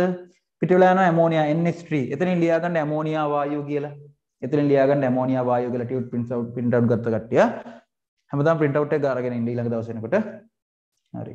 ලබන සමුද ලබන බ්‍රාස්වින්ද මේ ක්ලාස් එකට සෙට් වෙන කට්ටියත් උස්ස ලබන බ්‍රාස්වින්ද මේ ක්ලාස් එකට එන්න හිතාගෙන ඉන්න කට්ටියත් උස්ස සෙට් වෙන්න ඕනේ මම. පාඩම ලස්සනට කව කළා දැන් පළවෙනි අද පළවෙනි දවසේ ඉඳලා ඇත්තටම මම ගොඩක් මේ මේ කරන්නේ නැහැ චුට්ටයි කරන්නේ හරි ඊළඟ දවසේ සෑහෙන දේවල් කරනවා අපි ආ. මේ රෑ වෙනකන් 12 1 දෙක වෙනකන් අරන් ඉඳලා ලෑස්ති වෙලා ඉන්න ලොකු ගේමක් ගහමු පුතේ. මේ කැප කිරීම තමයි ඔයාලගේ ඒ රිසල්ට් එක වාව ඒකට උස්සලා තියන්නේ. මේ නිදිවරු පෑ ගන්න මේ කාපු කට්ටවල් ඔච්චර වැස්සත් එන්න සීතයි ඇඳ කතා කරනවා එන්න කියලා. හරි. නිදා ඉති මතයි හරි ඉති මතයි කියන්නේ ආයේ හොඳම කන්ඩිෂන් එක නිදාගන්න හරි සීතයි හොඳ හුලං එනවා හොඳ නිදිමත ඒක කැප කරලා ඔයාට ඉගෙන ගන්න පුළුවන් නම් ඒ කැප කිරීම තමයි පුතේ ඔයාව ඒකට උස්සලා තියන්නේ. ඔයාගේ නිදා ගන්නවා නම් හරි ඔයාගේ අනාගතෙත් එතරම් නිදි තමයි. හරි. ඒවත් තේරුම් ගන්න. කැප කිරීම තමයි අපිව ඉස්සරහට අරගෙන යන්නේ. කැප කිරීමක් කියන්නේ මොකද්ද කියලා මුලින් දැනගන්න. කැප කිරීමක් කියලා කියන්නේ පුතේ තමන් ආස දෙයක් නොකර වෙන අනාගතයේ වෙන හොඳ දෙයක් වෙනුවෙන් තමන් දැන් ආස දේ නොකර ඉන්න එක. ඒක තමයි කැප කිරීමක් කියන්නේ. හරි ඒව කරන්න ඕන දිනන්න රාතල් එකේ මේව කොට දාන්න පුළුවන් දේවල් නෙමෙයි. ඒක දැන්ටම තේරිලා ඇති. භාගට මාස 3යි ඇති. හරි. හොඳයි. මගේ පැත්තෙන් වෙන්න ඕන උපරිමය කරලා දෙනවා පුතේ මං. හරි. හොඳයි. ටියුට් එකේ තියෙනවා මෙහෙම උඩ වාක්‍ය බලන්න මම පුතාලා ඇමෝනියම් ලවණයකට NaOH, KOH, BaOH වැනි බස්මයක් එක්කල විට කාම රොස්නත්යේදී පවා ඇමෝනියා වායුව පිටවේ. හරි. දකුණු පැත්තේ පින් එකක් ගහලා තියෙනවා පේනවද? මේ පින් එකක් ගහලා තියෙනවා. මං කිව්වා නේද පුතා මෙහෙම කතාවක්. පුතේ මේක අනිවාර්යෙන් ස්ථිර විභාගයට එනවා අනිවාර්යෙන් එනවා එනවමයි එනවමයි මං කියනවා දැනුත් කියනවා එනවමයි බහුවර්ණයකට හෝ රචනාවකට එනවාමයි. ඇයි අප්පා මෙච්චර මේ ඇමෝනියාම එන්නේ මෙච්චර වායු තියෙනකොට? ඇමෝනියා එච්චර විශේෂයිද? ඔව්. මොකද විශේෂත්වය? ඔයාගේ සිලබස් එකේ ඔයාට හම්බෙන වායු වල ආම්ලික වායු ඇති උදාසීන වායුත් ඇති ඕන තරම්. හැබැයි පුතේ භාෂ්මික වායු තියෙන එකයි. අපේ සිලබස් එකේ තියෙන එකම භාෂ්මික වායුව ඇමෝනියා. අපේ සිලබස් එකේ තියෙන එකම භාෂ්මික වායුව. වෙන වායු ඕන තරම් තියෙනවා ආම්ලික වුණා උදාසීන වුණා. හැබැයි ඒවට කවදාකවත් හම්බෙන්නේ නැහැ කවද පුතේ? භාෂ්මික වායුවක් සිලබස් එකේ වෙන ආය හම්බෙන්නේ නැහැ. හම්බෙන්නේ කා විතරද? ඇමෝනියා විතර. එහෙනම් ඇමෝනියාගේ විශේෂත්වය තේරුම් දරුවෝ ටිකත් උස්සන්න. ඇයි හැම අවුරුද්දම ඇමෝනියා අහන්නේ කියලා තේරුම් කට්ටියත් උස්සන්න. තේරුණාද ඇයි හැම අවුරුද්දම ඇමෝනියා අහන්නේ කියලා? එයා තමයි සිලබස් එකකින් එකම භාෂ්මික වායුව. ඔයාට ආම්ලික වායුව කියලා කාබන් ඩයොක්සයිඩ් හයි SO2 හයි එකක වායුව SO3 හයි. හරි? හ්ම්. අපර දෙන්න පුතා.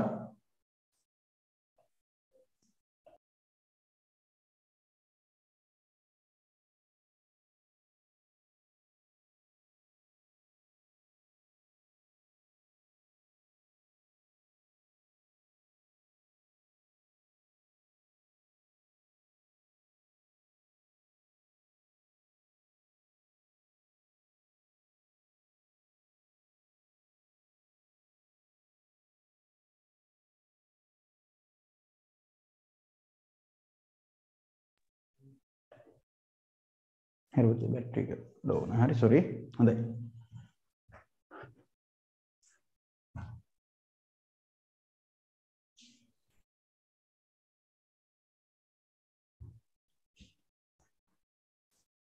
හරි. සොරිය. හරි. මම කතා කරමින් හිටියේ භාෂ්මික වායුව නිසා. හරි. ඒක පැහැදිලි. ඊළඟට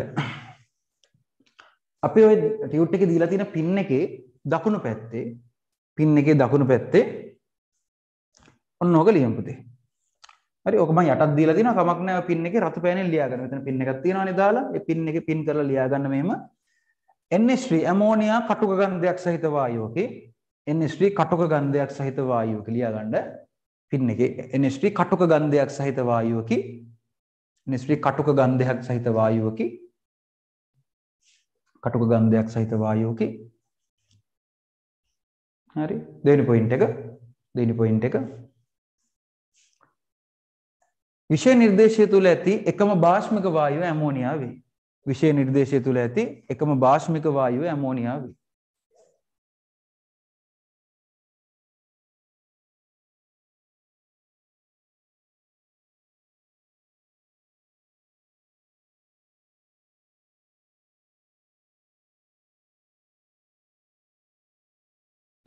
විෂය නිර්දේශය තුළ ඇති එකම භාෂ්මික වායුව වේ.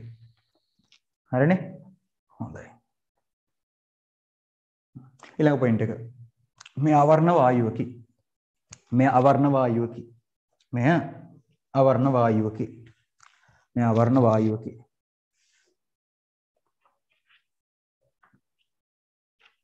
මේ ආවරණ වායුවකි.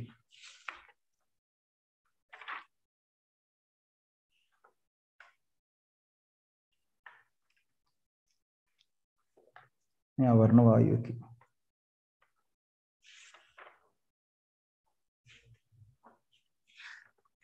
හොඳයි. ඒ කතාවත් හරි එහෙනම්.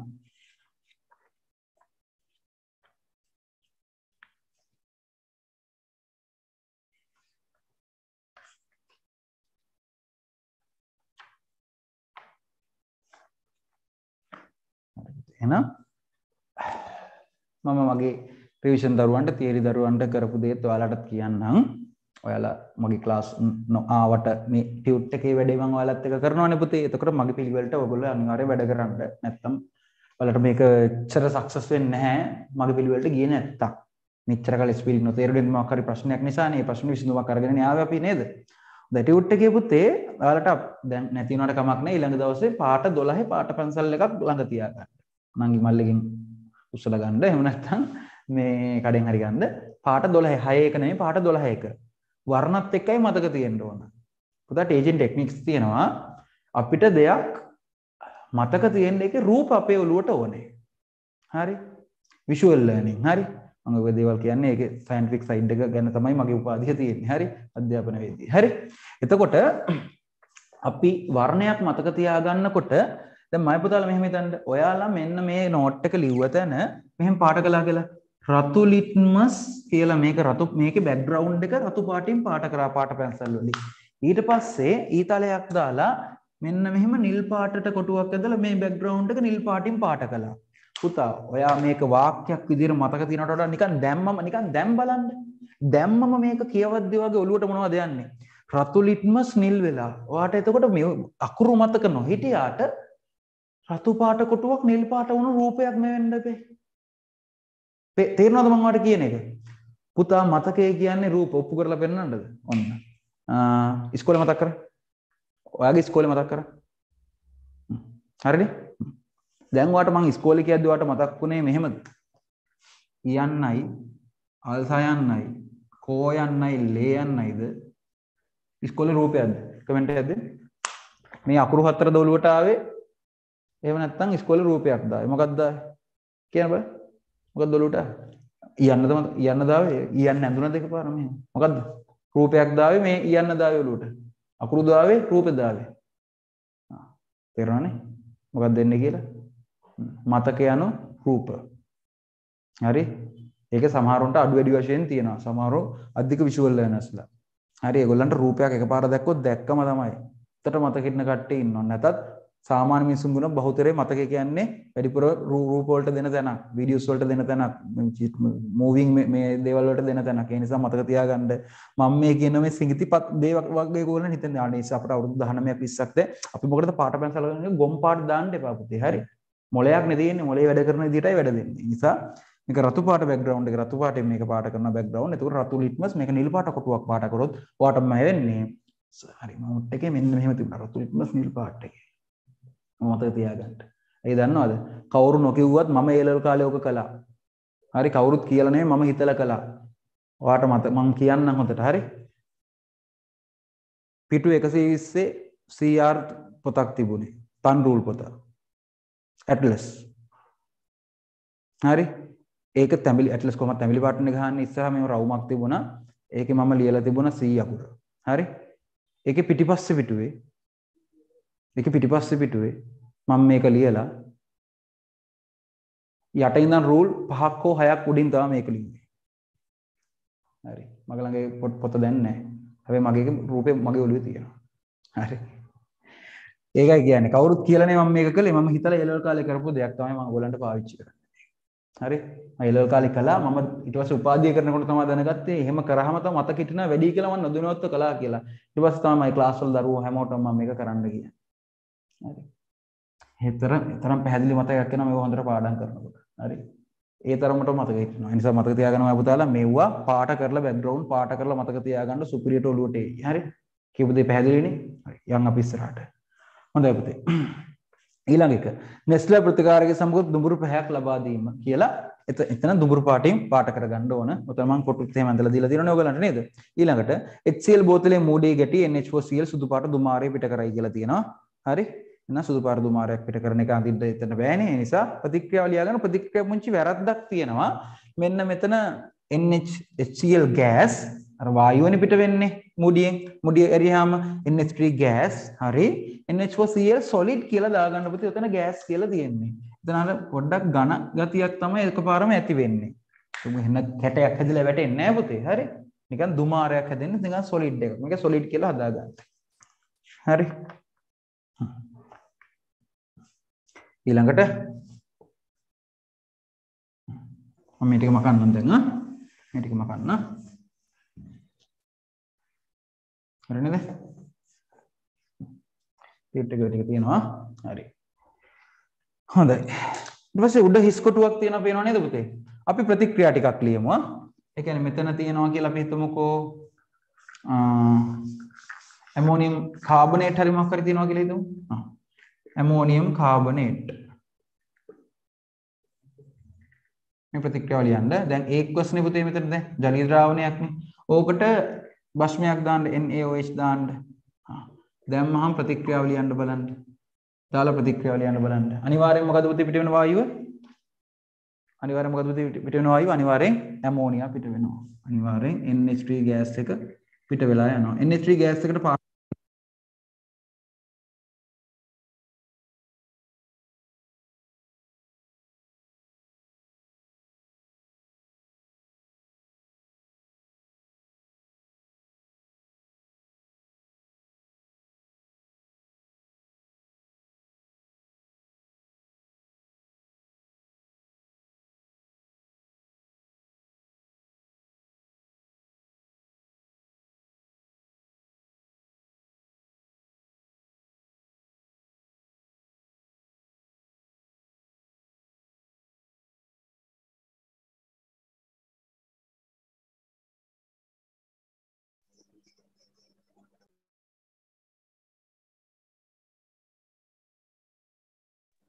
Sir,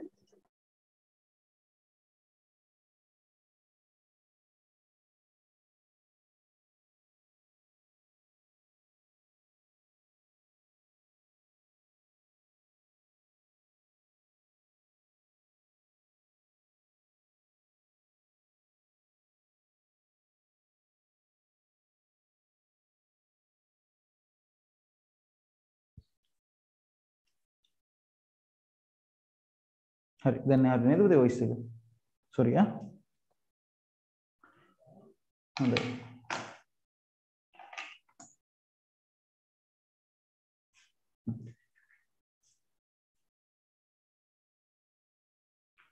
හරි පුතේ. හ්ම් සූරිත කරමින් හිටියේ. කටියට දැන් පැහැදිලි හැනවද පුතා? කටියට පැහැදිලි හැනවද හැමෝටම? ඕනේ? හරි. සොරි ආ. හොඳයි. මෙතන දෙකයි සෝඩියම් දෙකයි නම් මෙතන සෝඩියම් දෙකයි පුතා. මෙතන නයිට්‍රජන් දෙකයි අතනත් නයිට්‍රජන් දෙකයි. එතකොට හයිඩ්‍රජන් මම තුලද කරගෙන හිටියේ. අමතක වුණා. අතන දෙක 8යි. දෙකයි 10යි. මෙතන 3 දෙක 6යි. එතකොට මෙතන දෙකක් ඕන වෙනවා නේ. අපි බලමු තුලිත වෙනවද කියලා 1 5 තුලිතයි නේ. තුලිතයි. හරි. මේක ලියාගෙන මම පුතාලා අර හිස් කොටුවක් තියෙනව නේද? චිත්‍රයටින් හිස් කොටුවක් තියෙනවනේ මේ ප්‍රතික්‍රියාව ලියාගෙන මම පුතාලා. මේක ලියාගන්න. තව තව එකකුත් මම ලියන්න. ඇමෝනියම් ක්ලෝරයිඩ් ජලීය ද්‍රාවණයක් තිබුණා කියලා හිතන්න මේක ඇතුලේ. ඒකට බාහිරින් දැම්ම භස්මයක් NaOH දැන් අපි ලියවනේ KOH දැම්ම කියලා හිතන්න. KOH දැම්ම කියලා හිතන්න. හරි. අනිවාර්යෙන් පිට වෙන්නේ මොකද මා පුතා? අනිවාර්යෙන් ඇමෝනියා වායුව පිට වෙන්න ඕන. අනිවාර්යෙන් ඇමෝනියා ගෑස් එක රිලීස් වෙලා යන්න ඕන. අනිවාර්යයි මේක. හරි. අනිවාර්යෙන් ඇමෝනියා ගෑස් එක රිලීස් වෙලා යනවා. ඊට අමතරව මෙතනින් හැදෙන්න පුළුවන් පුතේ පොටෑසියම් ක්ලෝරයිඩ් KCl හැදෙන්න පුළුවන් ලවණයක්. මේක ඉතින් ජලයේ දිය වෙනවා. ඊට අමතරව තමයි ඉතින් ජලය හැදෙන්නේ. ඊට අමතරව තමයි ජලය හැදෙන්නේ ලික්විඩ් එකක් විදියට. හරි. දැන් මේක තුලිත කළොත් පොටෑසියම් ක්ලෝරයිඩ් 3යි 5යි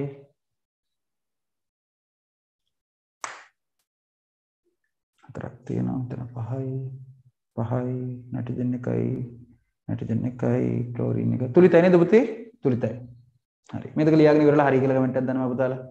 මේක ලියලා හරි කියලා කමෙන්ට් එකක් දාන්න. අර උඩ තියෙන කොටුවේ ආ පේනවනේ කොතනද කියලා මේ මැද තියෙනවනේ කොටුව. අන්න ඒ කොටුවේ හරි.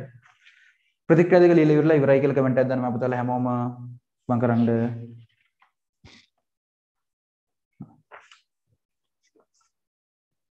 හරි නේ? හොඳයි පුතේ.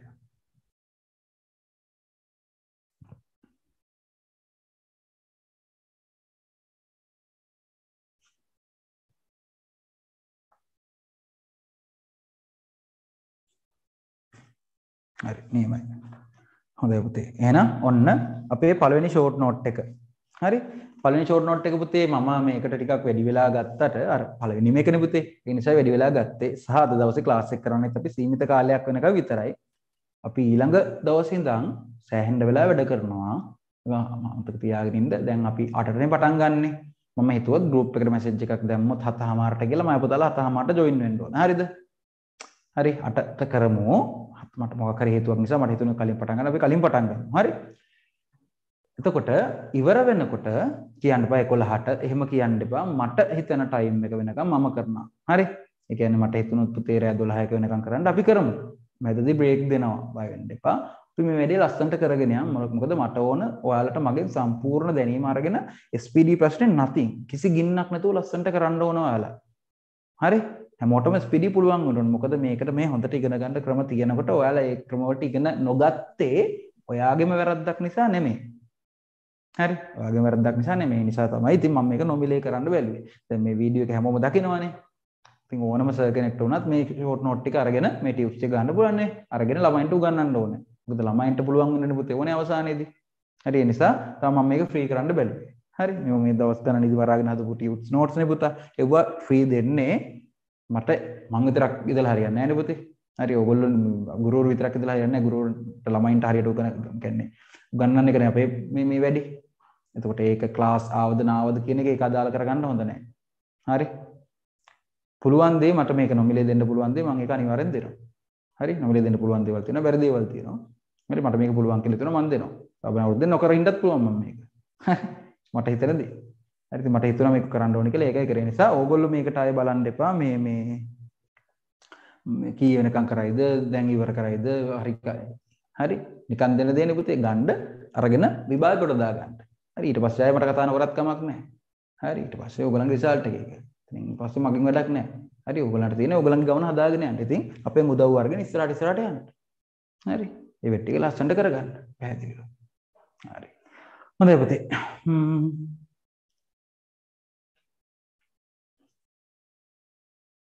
ඔන්න මං හිතපු ප්‍රශ්නය ළමෙක් අහලා තියෙනවා.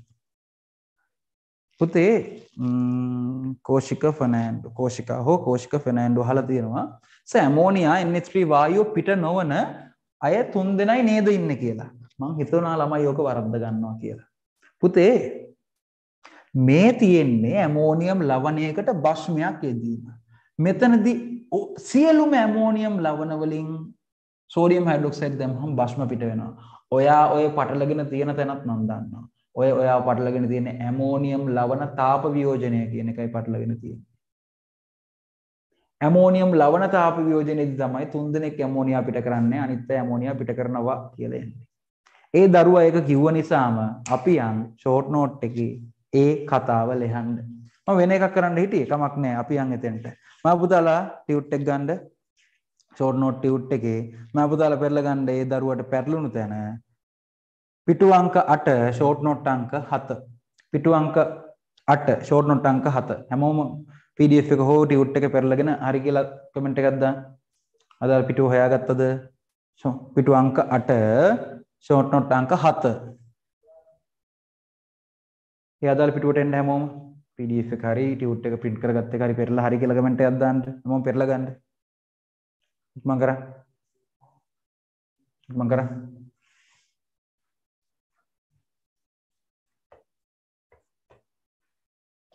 ඔන්න ඒ දරුවා අහපු ප්‍රශ්නෙට මෙතනදීම පිළිතුරක් දීලා ඉවරයක් කරමු. හැමෝටම වැදගත් වේ. ඉක්ම කරන්න පුතේ. හරිද? පෙරලා ගත්තද?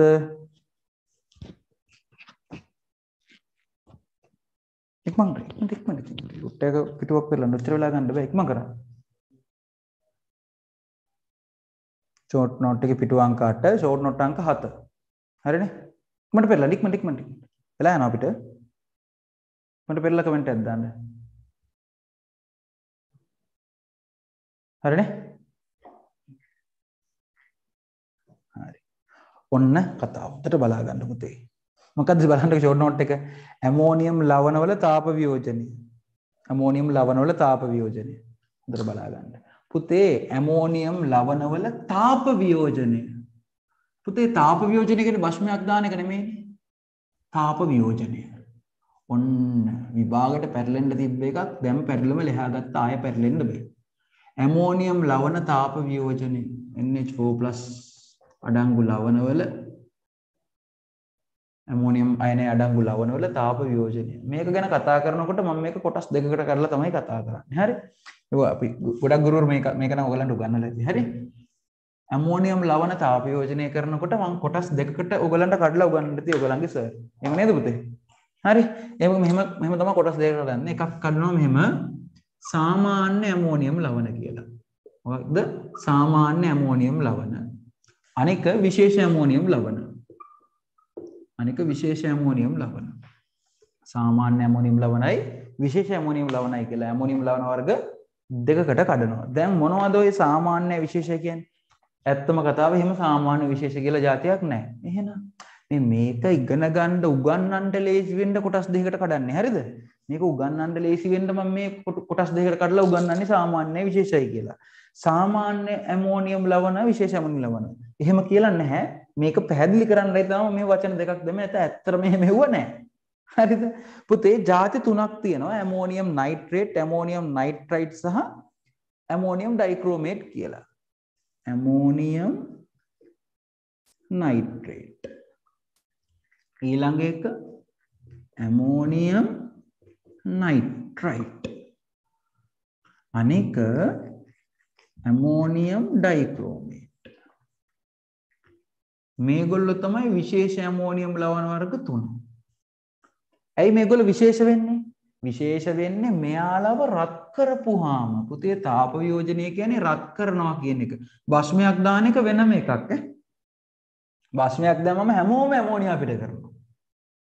හැබැයි රත් කරපුහාම මේ ඝනය අරගෙන රත් කරපුහාම මේ තුන් දෙනා ඇර ඉතිරි සියලුම දෙනා ටියුට් එකේ ඉන්නවනේ ඉතිරි සියලුම දෙනා. කවුද? Ammonium chloride ammonium bromide ammonium iodide ammonium carbonate ammonium oxalate. එන්න ගොඩක් ඉන්නවනේ. ඔය ඔක්කොම කට්ටිය රත් කරපුහාම ඇමෝනියා වායුව පිට කරනවා. නමුත් මේ තුන් දෙනා විතරක් රත් කළ විට මොන වායුව නම් පිට නොවේද? ඇමෝනියා වායුව නම් පිට නොවේ. ඇමෝනියා වායුව පිට වෙන්නේ නැත්නම් මොන වායුවද පිට වෙන්නේ? බලන්න. මෙයාගෙන් පිට වෙනවා laugh laughing gas. එහෙම නැත්නම් සිනහ වායුව N2O පිට වෙනවා. මේ දෙන්නගෙන් පිට වෙන්නේ නයිට්‍රජන් කියලා වායුවක්. තුන් දෙනාම නයිට්‍රජන් වායු පිට කරන බව ඇත්ත. තුන් දෙනාම නෙමෙයි මේ මේ සියලුම කට්ටිය වායු පිට කරනවා. හැබැයි මේ තුන් දෙනා පිට කරන්නේ ඇමෝනියා නෙමෙයි. නමුත් මේ හැර අනිකුත් සියලුම කට්ටිය රත් කරනකොට භස්ම දානකොට නෙමෙයි. ඒක ඉවරයි. මේ පළවෙනි ෂෝට් නෝට් එක මේ තියෙන රත් කිරීම.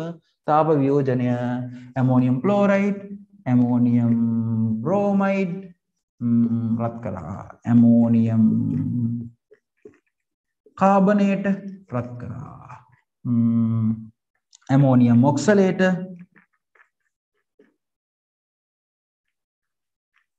ammonium oxalate ammonium acetate ammonium acetate මෙන්න මේ කට්ටිය. මේ ඔක්සලේට් ගන්නත් පුළුවන්. හරි?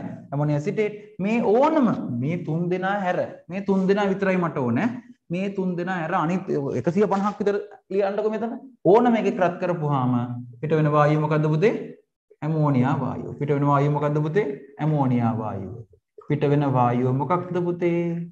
ඇමෝනියා වායුව. තේරුණා එහෙනම් අහනවා ප්‍රශ්නයක් මෙහෙම. එක්තරා සංයෝගයක් රත් කළ විට එයින් වායුවක් පිටවුණි. එක්තරා සංයෝගයක් රත් කළ විට එයින් වායුවක් පිටවුණි. හරිද? ඔන්න ප්‍රශ්නේ.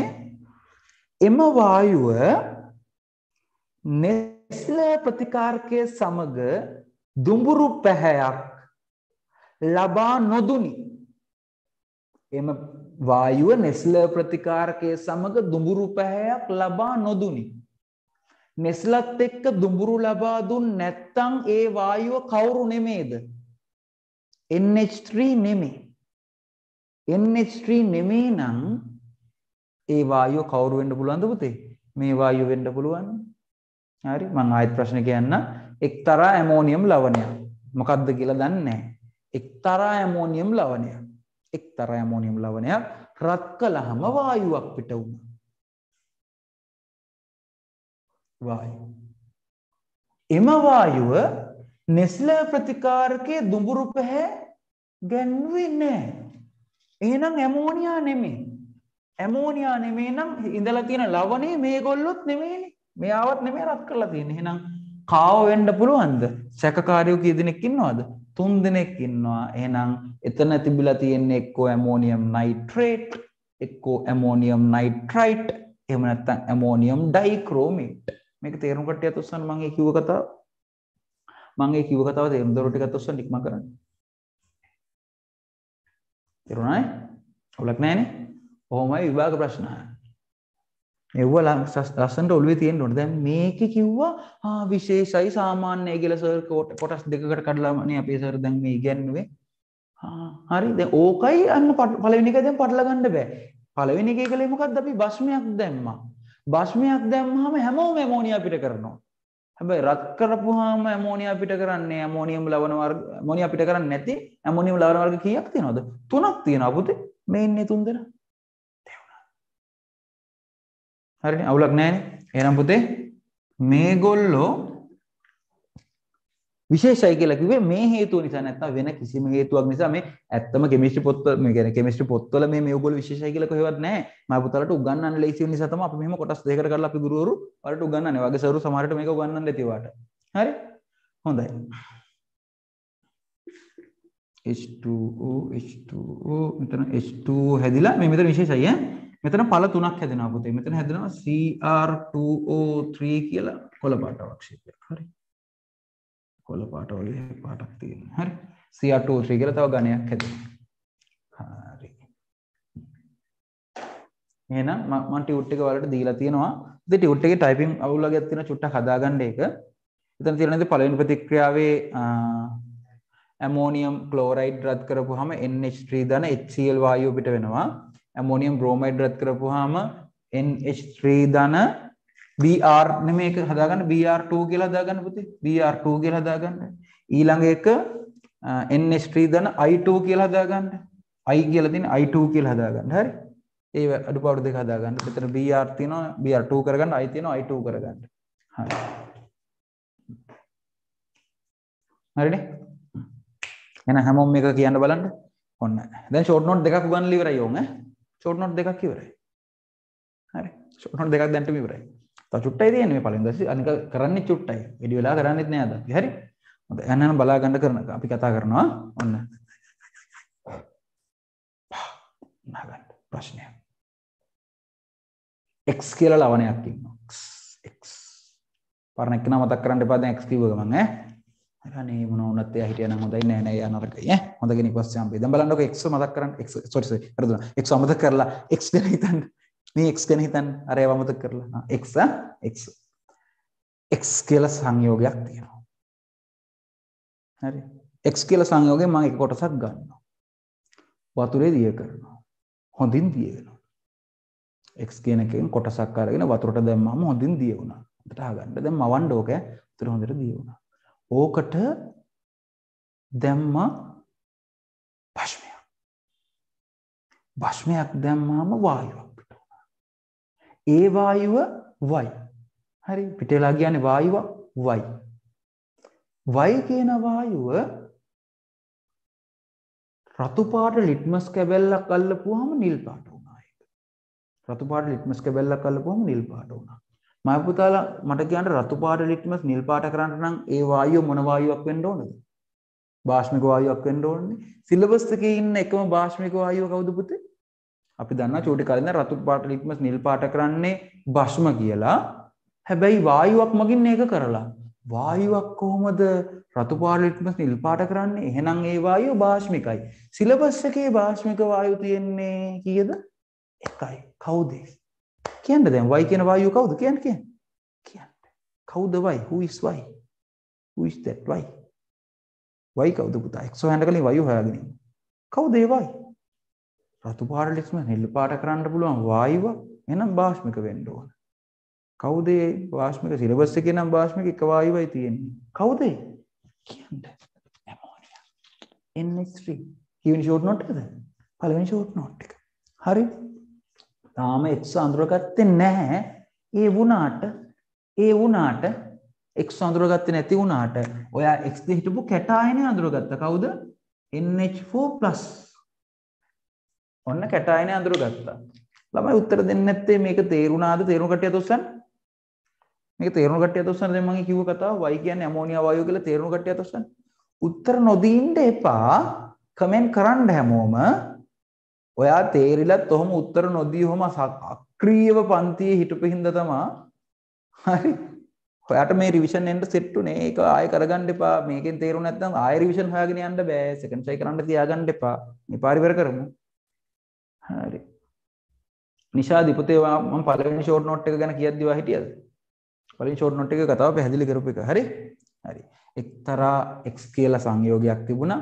ඒක වතුරේ හොඳින් දිය වුණා. භස්මයක් දැම්මහම වායුවක් පිට වුණා ඒ වායුව රතු පාට ලිට්මස් නිල් පාට කළා රතු පාට ලිට්මස් නිල් පාට කරන්න පුළුවන් මොන වායුවට විතරයිද NH3 වායුවට විතරයි කියලා පළවෙනි ෂෝට් නෝට් එකේ දැන් ටිකකට කලින් කිව්වා ඉවරයි ඒක දැන් ඔහෙනම් ඔයා x කියන සංයෝගයේ කැටායනයක් තිබුණා NH4+ කියලා ඒක අඳුරගත්තානේ මොකද මේ කැටායන තියෙන කට්ටියට තමයි භස්ම දැම්මහම මොනවා වෙන්නේ නැද්ද පුතේ? ඇමෝනියා වායුව පිට කරන්න පුළුවන්. එහෙනම් ඔයා මේක අඳුරගත්තා. හැබැයි සංයෝග x කියන සම්පූර්ණ සංයෝගයට කැටායනයක් විතරක් නෙමෙයිනේ තියෙන්නේ. අනායනයක් තියලානේ සංයෝගයක් හැදෙන්නේ නේද? සංයෝගය හැදෙන්නේ කැටායන අනායන එකතු වෙලා. දැන් අපි අනායනය මොකද්ද කියලා දන්නේ නැහැ. තාම දන්නේ නැහැ. ඔන්න මම ඒකත් පුළුවන් කරන්නයි යන්නේ. හරි?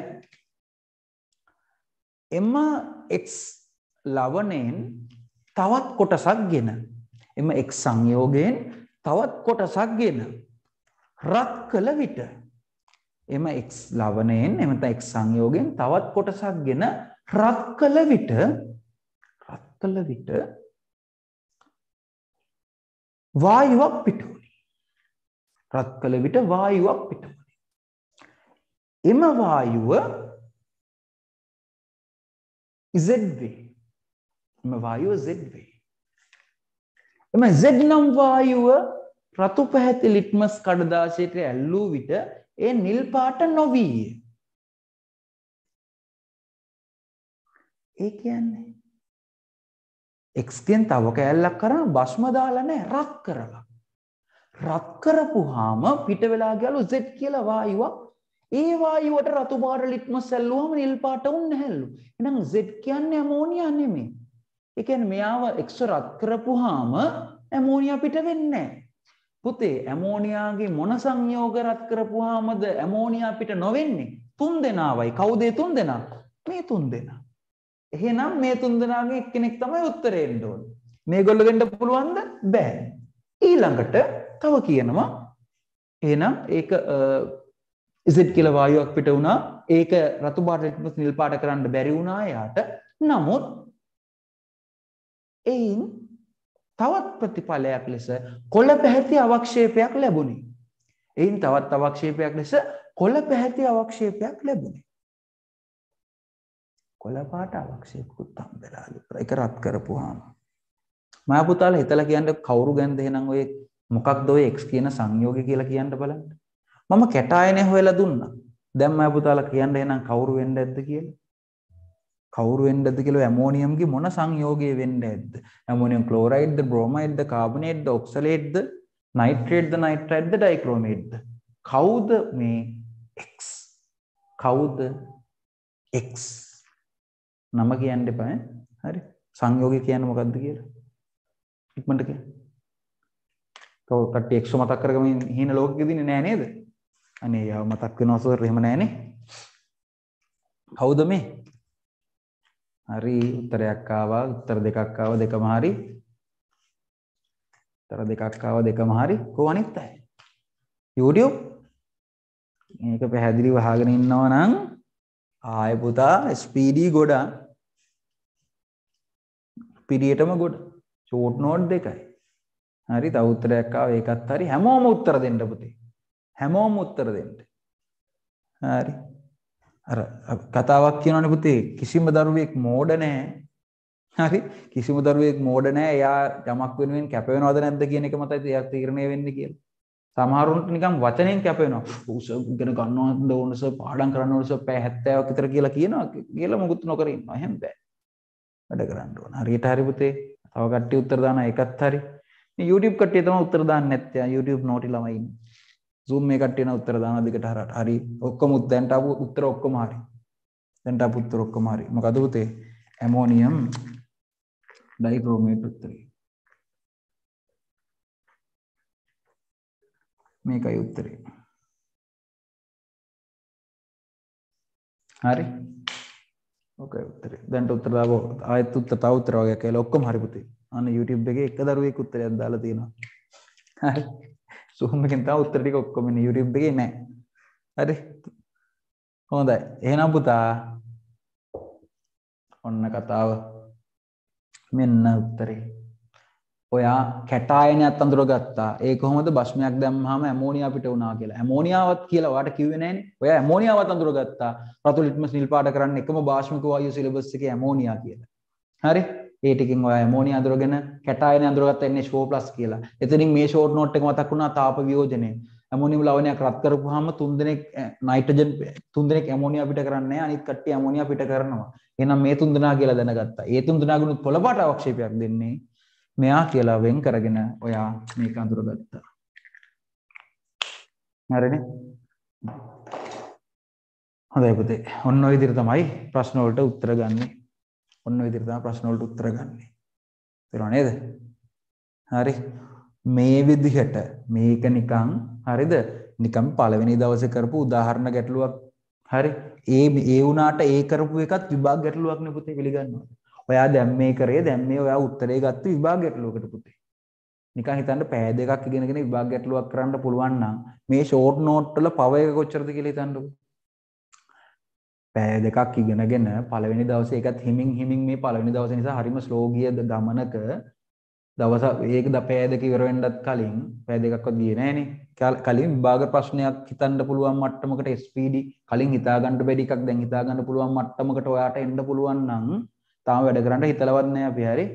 අපි ලබන සතියේ ඉඳන් හරියට වැඩ කරන්න පටන් ගත්තට පස්සේ ඔයා ටියුට් එක print කරගෙන අර පාට පැන්සල් සෙට් එක අරගෙන රෙඩි වෙලා මේකට සෙට් වුණාට පස්සේ මම අර කියපු වචන ටික හරියයි නේද? SPD වුණ ප්‍රශ්නයකට ගේමක් නැතුව අනිවාර්යෙන් උත්තර දෙන්න පුළුවන්.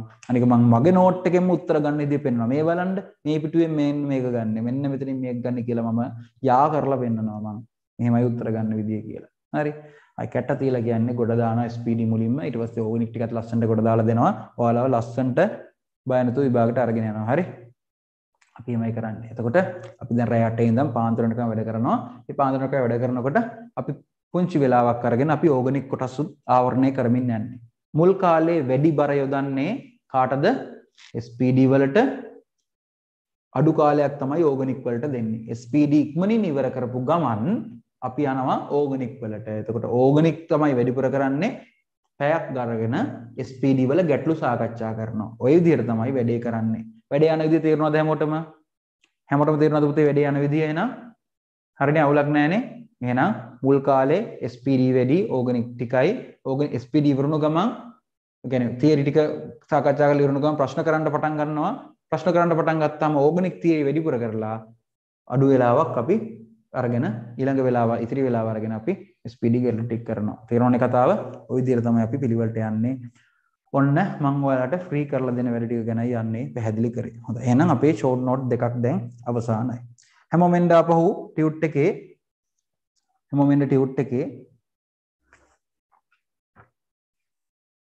තුන්වෙනි පිටුවට. හැමෝම එන්න ටියුට් එකේ තුන්වෙනි පිටුවට. හරි හැමෝම එන්න ටියුට් එකේ තුන්වෙනි පිටුවට. හරිද හොඳයි. මේ කාරණේ එහෙනම් ටියුට් එකේ සියල්ල පැහැදිලි නේද පුතේ? අඩුපාඩු එහෙම දාගත්තානේ. හරි. මම අහන ප්‍රශ්නයක් තාප වියෝජනයේදී තාප වියෝජනයේදී ඇමෝනියා වායුව පිට නොකරන ලවණ වර්ග කීයක් තියෙනවද? උත්තරයක් දෙන්න. තාප වියෝජනයේදී ඇමෝනියා වායුව පිට නොකරන ලවණ කීයක් තියෙනවද? සංයෝග කීයක් තියෙනවද? ඇමෝනියා ලවණ පිට කරන ඇමෝනියම් ලවණ කීයක් තියෙනවද? ඇමෝනියම් ලවණ වර්ග තුනක් තියෙනවා. පත් කරනකොට ඇමෝනියා පිට නොකර පිට නොකරන ඇමෝනියම් ලවණ වර්ග තුනක් තියෙනවා. හරි. එකෙන් කොළ පාට අවක්ෂේප දෙන්නේ එකකින් විතරයි. ඇමෝනියම් නයිට්‍රේට් පිට කරන්නේ සිනහ වායුව N2O. N2O ඇමෝනියම් නයිට්‍රේට් වලින්. ඇමෝනියම් නයිට්‍රයිට් වලින් පිට කරන්නේ N2 ඇමෝනියම් ඩයික්‍රෝමේට් වලින් පිට කරන්නේ N2. හරි මතකද යන N2O N2 N2 මතකනේ ammonium nitrate NH4NH NH4NO3 වලින් පිට කරන්නේ N2O කියලා වායුව. NH4NO2 වලින් පිට කරන්නේ N2 ඇමෝනියම් ඩයික්‍රෝමේට් වලින් පිට කරන්නේ N2ම තමයි. හරිනේ. ඔය ලස්සනට මතක තියාගන්න ටියුට් එක හරි පැහැදිලි වුව තියෙනවා. හරි. හරි. ටියුට් එකේ තුන්වෙනි පිටුවේ තුන්වෙනි ෂෝට් නෝට් එකට එන්න. ටියුට් එකේ තුන්වෙනි පිටුවට එන්න. ටියුට් එකේ තුන්වෙනි පිටුවට හැමෝම එන්න. හැමෝම ටියුට් එකේ තුන්වෙනි පිටුවට ඇවිල්ලා අද දවසේ අපි කතා කරන අවසාන ෂෝට් නෝට් එක. අද දවසේ අපි කතා කරන අවසාන ෂෝට් නෝට් එක. හරි. ඊට පස්සේ විභාග ප්‍රශ්නයක් කරවලා කරලා තමයි පන්ති අවසන් කරන්නේ. හරි. මේ අද අදට අඩුවෙන් අපි මේ වැඩ කරේ. හරි. අද පළවෙනි දවසේ නිසා අඩුවෙන් වැඩ කරේ. හරි. ඊළඟ දවසේ ඉඳන් සුපිරියට පුතා අපි වැඩ කරමු පැය ගාන වැඩි කරලා. මම පුතාලා මම ගොඩ දාලා දෙනවා. එකෙන්ම අනිවාර්යෙන් ආ කිව්වොත් කිව්වා. හරි. එකෙන්ම. හරි. බලන්න ටියුට් එකේ තුන්වෙනි ෂෝට් නෝට් එකේ තුන්වෙනි පිටුවේ තුන්වෙනි ෂෝට් මේ මේ ෂෝට් නෝට් අංකෙත් අංක තුනම තමයි. පුතාලා හොඳට බලාගන්න. ෂෝට් නෝට් එකේ නම තනුක අම්ල සමග වායු පිට කරන ඇනායන මොකද ෂෝට් නෝට් එක? තනුක අම්ල සමග වායු පිට කරන ඇනායන මේක ඔයගලන්ට ප්‍රැක්ටිකල් එකේම කරන්න තියෙනවා. ස්කූල් එකේ හරිනම් කරන්න ඕන මේකේ ප්‍රැක්ටිකල් එක. කරලා නැතුව ඇතිනේ. කරන්නත් ඇති සමහර ස්කෝලවල පුතේ මතක තියාගන්න මෙන්න මේ සංයෝග. මෙන්න මේ අයන තියෙන සංයෝග. මෙයාට කියන්නේ සල්ෆයිඩ් මම පුතාලා නම් දන්නේ නැති කට්ටිය නම් ලියන්න මම ලියන්නම් සිංහලෙන්. සල්ෆයිඩ් අල් ඩයන් හරි. ඉංග්‍රීසියෙන් ලියන්නම්කෝ මේක sulphide F I D E. මේක සල්ෆයිට්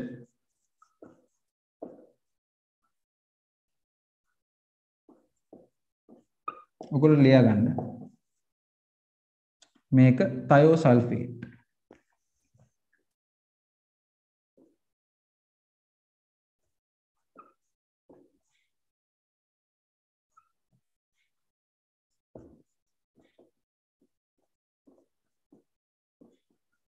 මේක කාබනේට්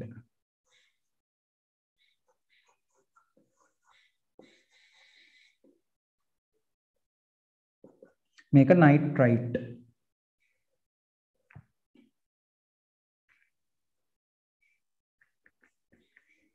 TE නයිට්‍රයිට් නම් ටික ලියාගන්න ඉක්මන් කර. ඉක්මන් කළ නම් ටික ලියාගන්න. ඉක්මන් කළ නම් ටික ලියාගන්න.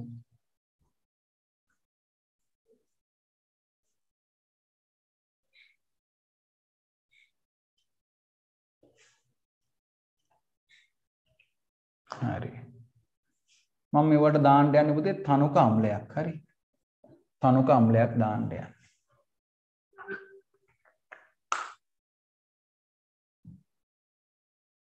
තනුක අම්ලයක් දාන්නයි යන්නේ. ඉක්මන් කරන්න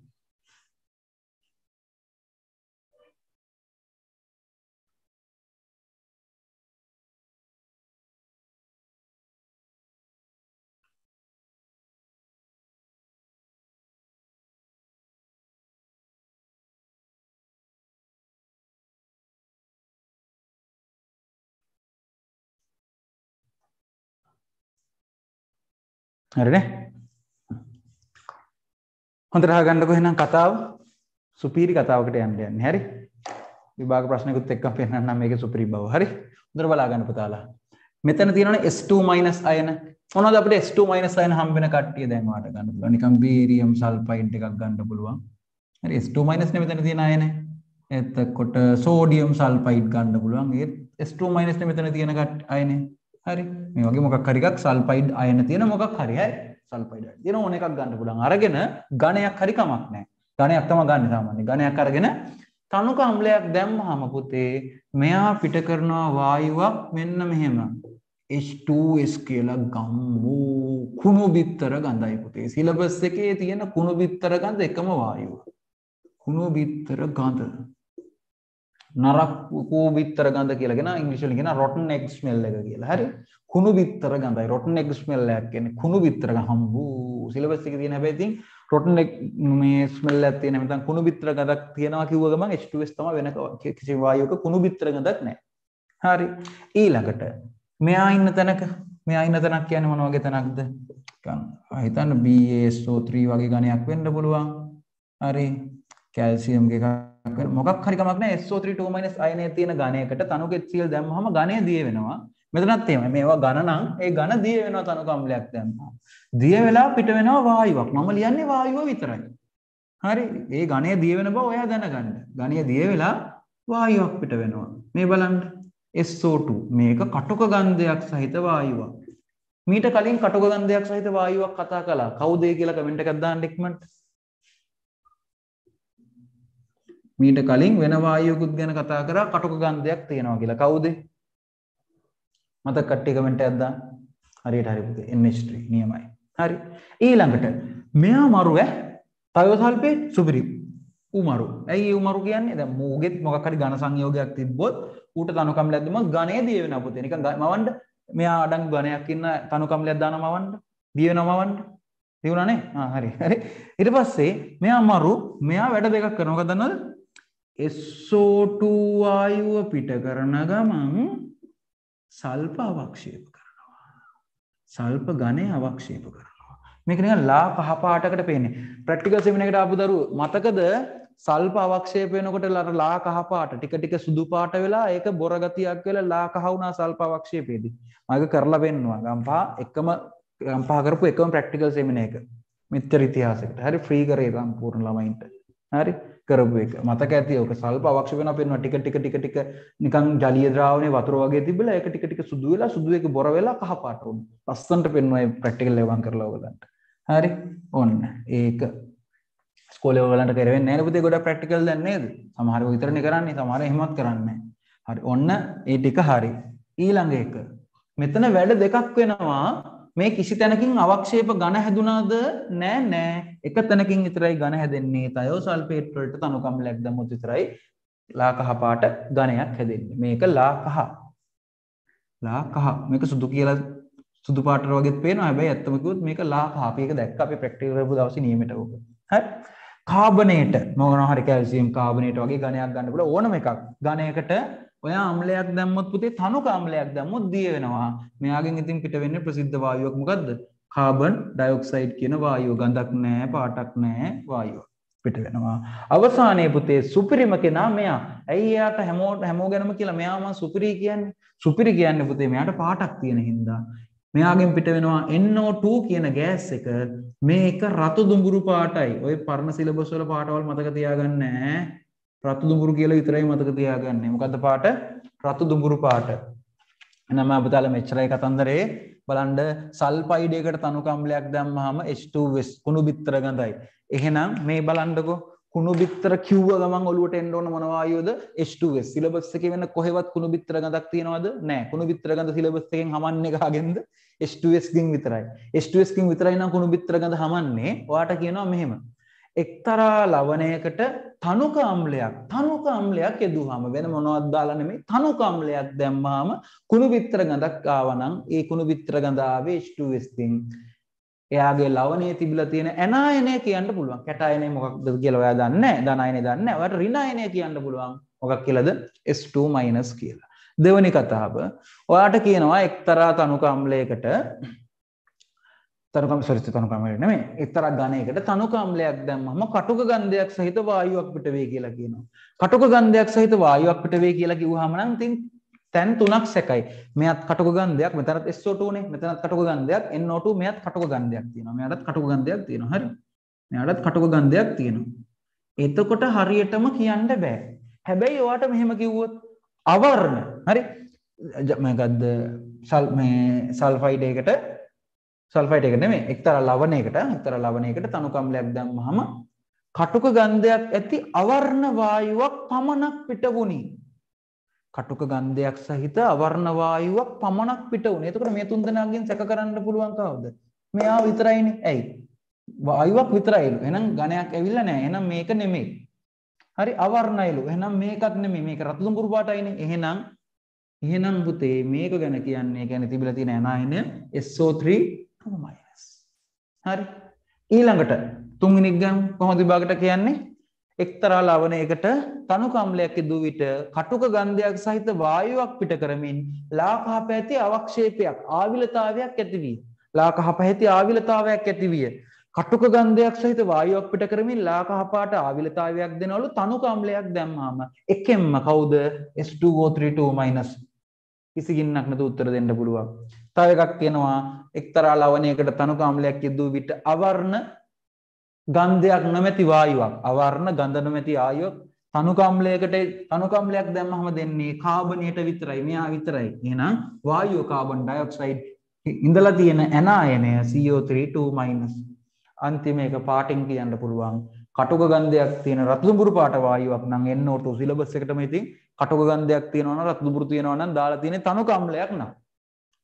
දාලා තියෙන තනුකම්ලයක් නම් ඈ? දාලා තියෙන තනුකම්ලයක් දාලා මෙන්න මේ රතු දුඹුරු පාට කටු ගන්ධයක් තියෙන වායුවක් එහෙම නැත්නම් NO2 පිට වෙන්නේ කාගෙන්ද පුතේ? NO3- කියන නෙමෙයි NO2- නයිට්‍රයිට නයිට්‍රයිට නයිට්‍රයිට් වලින් තමයි පිට වෙන්නේ. ඔතනින් විභාග ප්‍රශ්නයක් අහන්න පුළුවන්.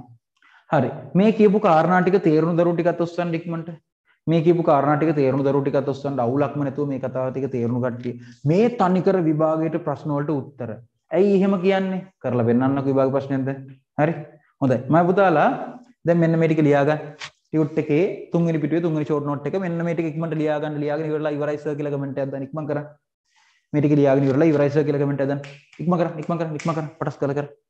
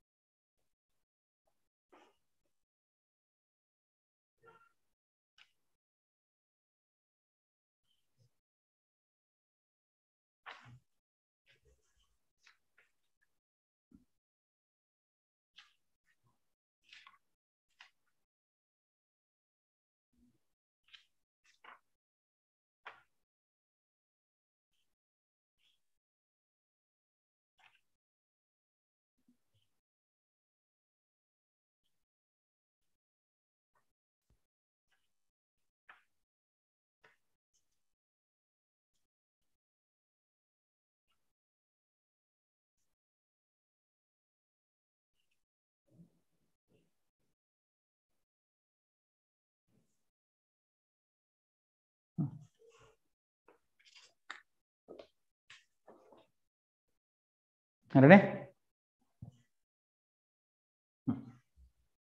ඉවරයිනේ හොඳයි. දැන් ඔප්පු කරන්න යන්නේ. මට කියන්න නිව් සිලබස් පටන් ගන්නේ මොන අවුරුද්දද කියලා? නිව් සිලබස් පටන් ගන්නේ මොන අවුරුද්දද කියලා කියන්නේ. අපේ දැන් ඔයගොල්ලෝ ඉගෙන ගන්න නිව් සිලබස් එක පටන් ගන්න 2023 ට ඔයගලන්ට තියෙන සිලබස් එක නිව් සිලබස් එක පටන් ගත්තේ මොන අවුරුද්දද? හ්ම්. කියන්නේ 2019 නෙමෙයි. පටන් ගත්තේ 2017 උගන්නන්න පටන් ගත්තේ. හරි. 2017 උගන්නන්න පටන් ගන්න 2019 තමයි මුලින්ම පේපරේ තිබ්බේ. හරිනේ කතාවනේ. 17 උගන්නන්න පටන් අරගෙන. හරි. එතකොට අවුරුදු දෙක මාස හතක් උගන්වුවට පස්සේනේ පේපරේ තියන්නේ. හරිනේ කතාවනේ. එතකොට 2019 පේපරේ දුන්නට 17 තමයි උගන්නන්න පටන් ගන්න. 2017 තමයි සිලබස් අලුත් වෙන්නේ. 2019 තමයි එකෙන් පළවෙනි පේපරේ තියන්නේ. 19 20 21 22 23 මේ පස්වෙනි අවුරුද්ද ওই සිලබස් එක යන. හරි 2023 ওই සිලබස් එක යන පස්වෙනි අවුරුද්ද. එතකොට අපි මේ සිලබස් එකට අදාළ ප්‍රශ්නේ කතා කරන්න ඕන. ඒ මේ සිලබස් එකට අදාළ ප්‍රශ්න පටන් ගන්න 2019 එන්නේ. ප්‍රශ්න පටන් ගන්නෙ. එහෙනම් අපි මම ඔප්පු කරලා පෙන්වන්න යන්නේ 19න්මයි. මම පුතාලා බලා ගන්න 2019 ව්‍යුහගත රචනා ප්‍රශ්න ගන්න. 2019 දෙවෙනි ව්‍යුහගත රචනා ප්‍රශ්න ගන්න ඉක්ම කරන්න. පාස් පේස් පොත ගන්න. ඉක්මනට පාස් පේස් පොත අරගෙන 2019 දෙවෙනි ව්‍යුහගත රචනා ප්‍රශ්න පෙරලා. 2019 දෙවෙනි ව්‍යුහගත රචනා ප්‍රශ්න පෙරලා. 2019 දෙවෙනි ව්‍යුහගත රචනා ප්‍රශ්නය පෙරලා ගන්න ඉක්මන් කරන්න.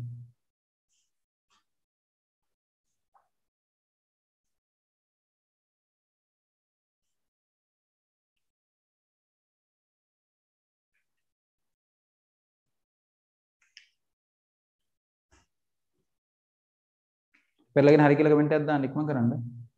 2019 ව්‍යුහගත රචනාවේ දෙවෙනි ව්‍යුහගත රචනා ප්‍රශ්න පෙරලගෙන හරි කියලා කමෙන්ට් එකක් දාන්න. ඒකේ සිම්පල් B ආ. ඒක සිම්පල් B. හරිනේ? මට දැන් මේ කියන්නේ මේ කමෙන්ට් කරන විදිහෙන් තේරෙනවා. පුතේ මේ වැඩේටම සෙට් වෙලා ඉන්නේ YouTube එකේ Zoom එකේ ළමයි කිහිප දෙනෙක් ඉන්නවා. මේ වැඩේටම දැන් ගැම්මට සෙට් වෙලා ඉන්නේ ඒක මරුවා. මම දන්න හැමෝම එහෙම සෙට් වෙන්නේ නැහැ. හරි අපතේ සෙට් එකකුත් ඉන්නවා. ඒ අතර මේ ගැම්මෙන්ම ඉන්න සෙට් එකක් ඉන්නවා. හරි ඔයගොල්ලෝ ඔහොමම ඉන්න පුතා. හරි වැඩේ කොට දාගන්න පුළුවන් ඔය ගැම්මෙන්ම හිටියොත්. හරි. හොඳයි දැන් බලා ගන්න ඕකේ සිම්පල් B දෙකේ සිම්පල් B එක බලන්න දෙකේ සිම්පල් B ප්‍රශ්න කියවන්න විහුවත රචනා දෙකේ සිම්පල් B ඒ සිට E දක්වා ලේබල් කර ඇති පරීක්ෂණ නලවල Na2S2O3, Na2CO3, KNO2, KBr සහ Na2S හි පිළිවෙලින් නෙමෙයි තියෙන්නේ ජලීය ද්‍රාවණ අඩංගු වේ. ඒ ශ්‍රී e දක්වා ඇති එක පරීක්ෂණ වලට තනුක HCl කියන්නේ තනුක අම්ලයක් නේද? තනුක අම්ලයක් යොදලා තියෙනවලු. ඉන්නකො මම ඉන්න ඇනායන සෙට් එක මේ හරියට ලියාගන්න. ඇනායන නෙමෙයි මේ මේ මේ සංයෝග ටික. Na2S2O3. හරිද? ඊට පස්සේ Na2CO3 ඊළඟට KNO2 ඊට පස්සේ KBr ඊළඟට Na2S ඔන්න ඔය ටික තමයි තියෙන්නේ හරිනේ ඊළඟට එව්වට දාලා තියනවලු තනුක HCl කියන්නේ තනුකම්ලයක් දාලා තනුකම්ලයක් දැම්මහම ද්‍රාවණයේ වායුවේ විස්තර කියනවා අපිට ද්‍රාවණයේ වායුවේ විස්තර කියනවා. ඔන්න බලන්න ඒ කියන කෙනා කවුද දන්නේ මේ සෙට් එකෙන් කවුරු හරිද? ඒ කියන කෙනාට HCl දැම්මම ද්‍රාවණය අවර්ණයිලු.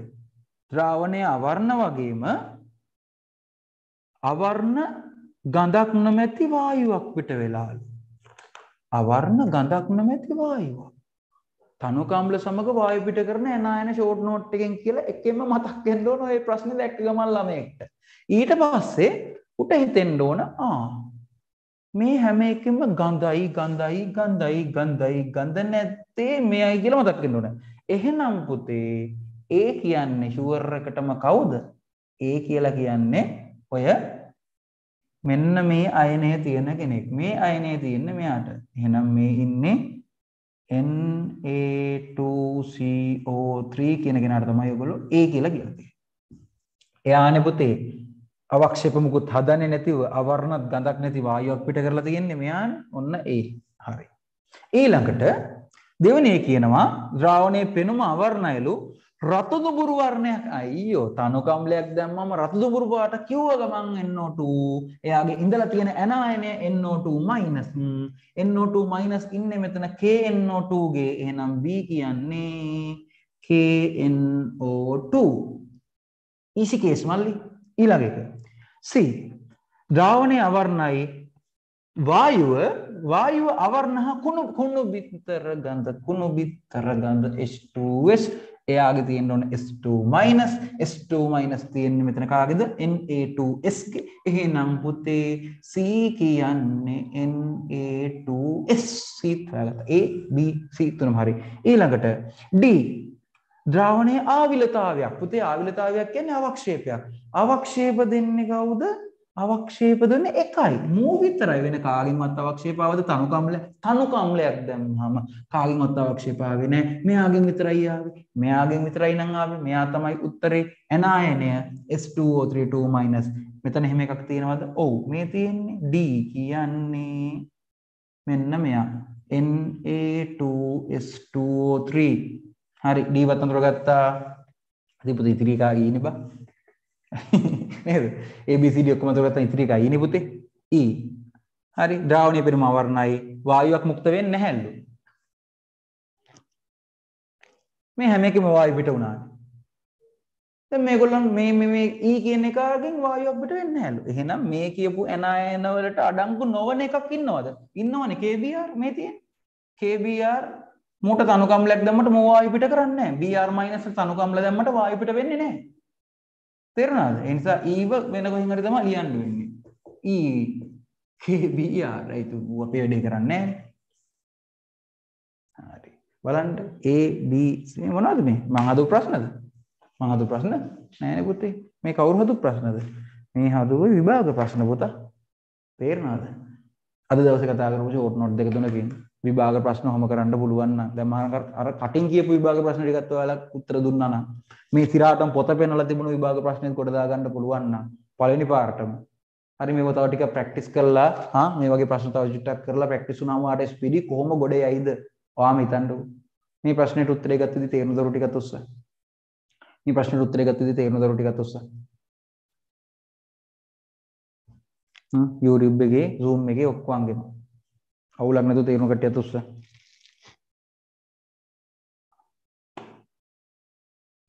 නියමයි සුපිරියා කට්ටියම වැඩේ කොට දාගනියා ওই විදිහට දිගටම ඉන්න පුතා ওই විදිහට දිගටම වැඩේ කරගෙන යා බලා අනිවාර්යෙන් ගොඩ හරි මගෙන් ඉගෙන ගන්න එකෙන්ම ගොඩ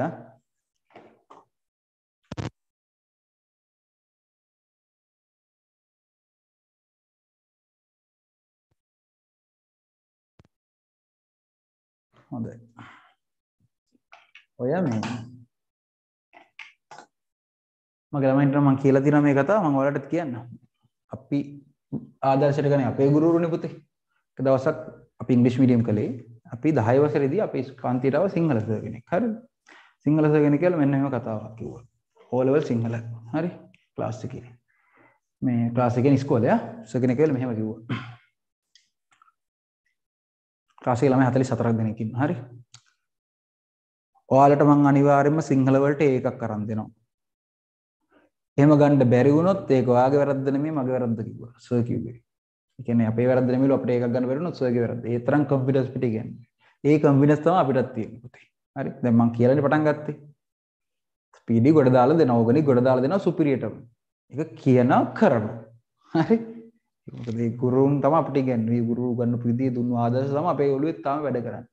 කිව්වා වගේම පන්ති 44කට යපරි 44 මටත් සිංහල වලට ඒකක් තියෙනවා.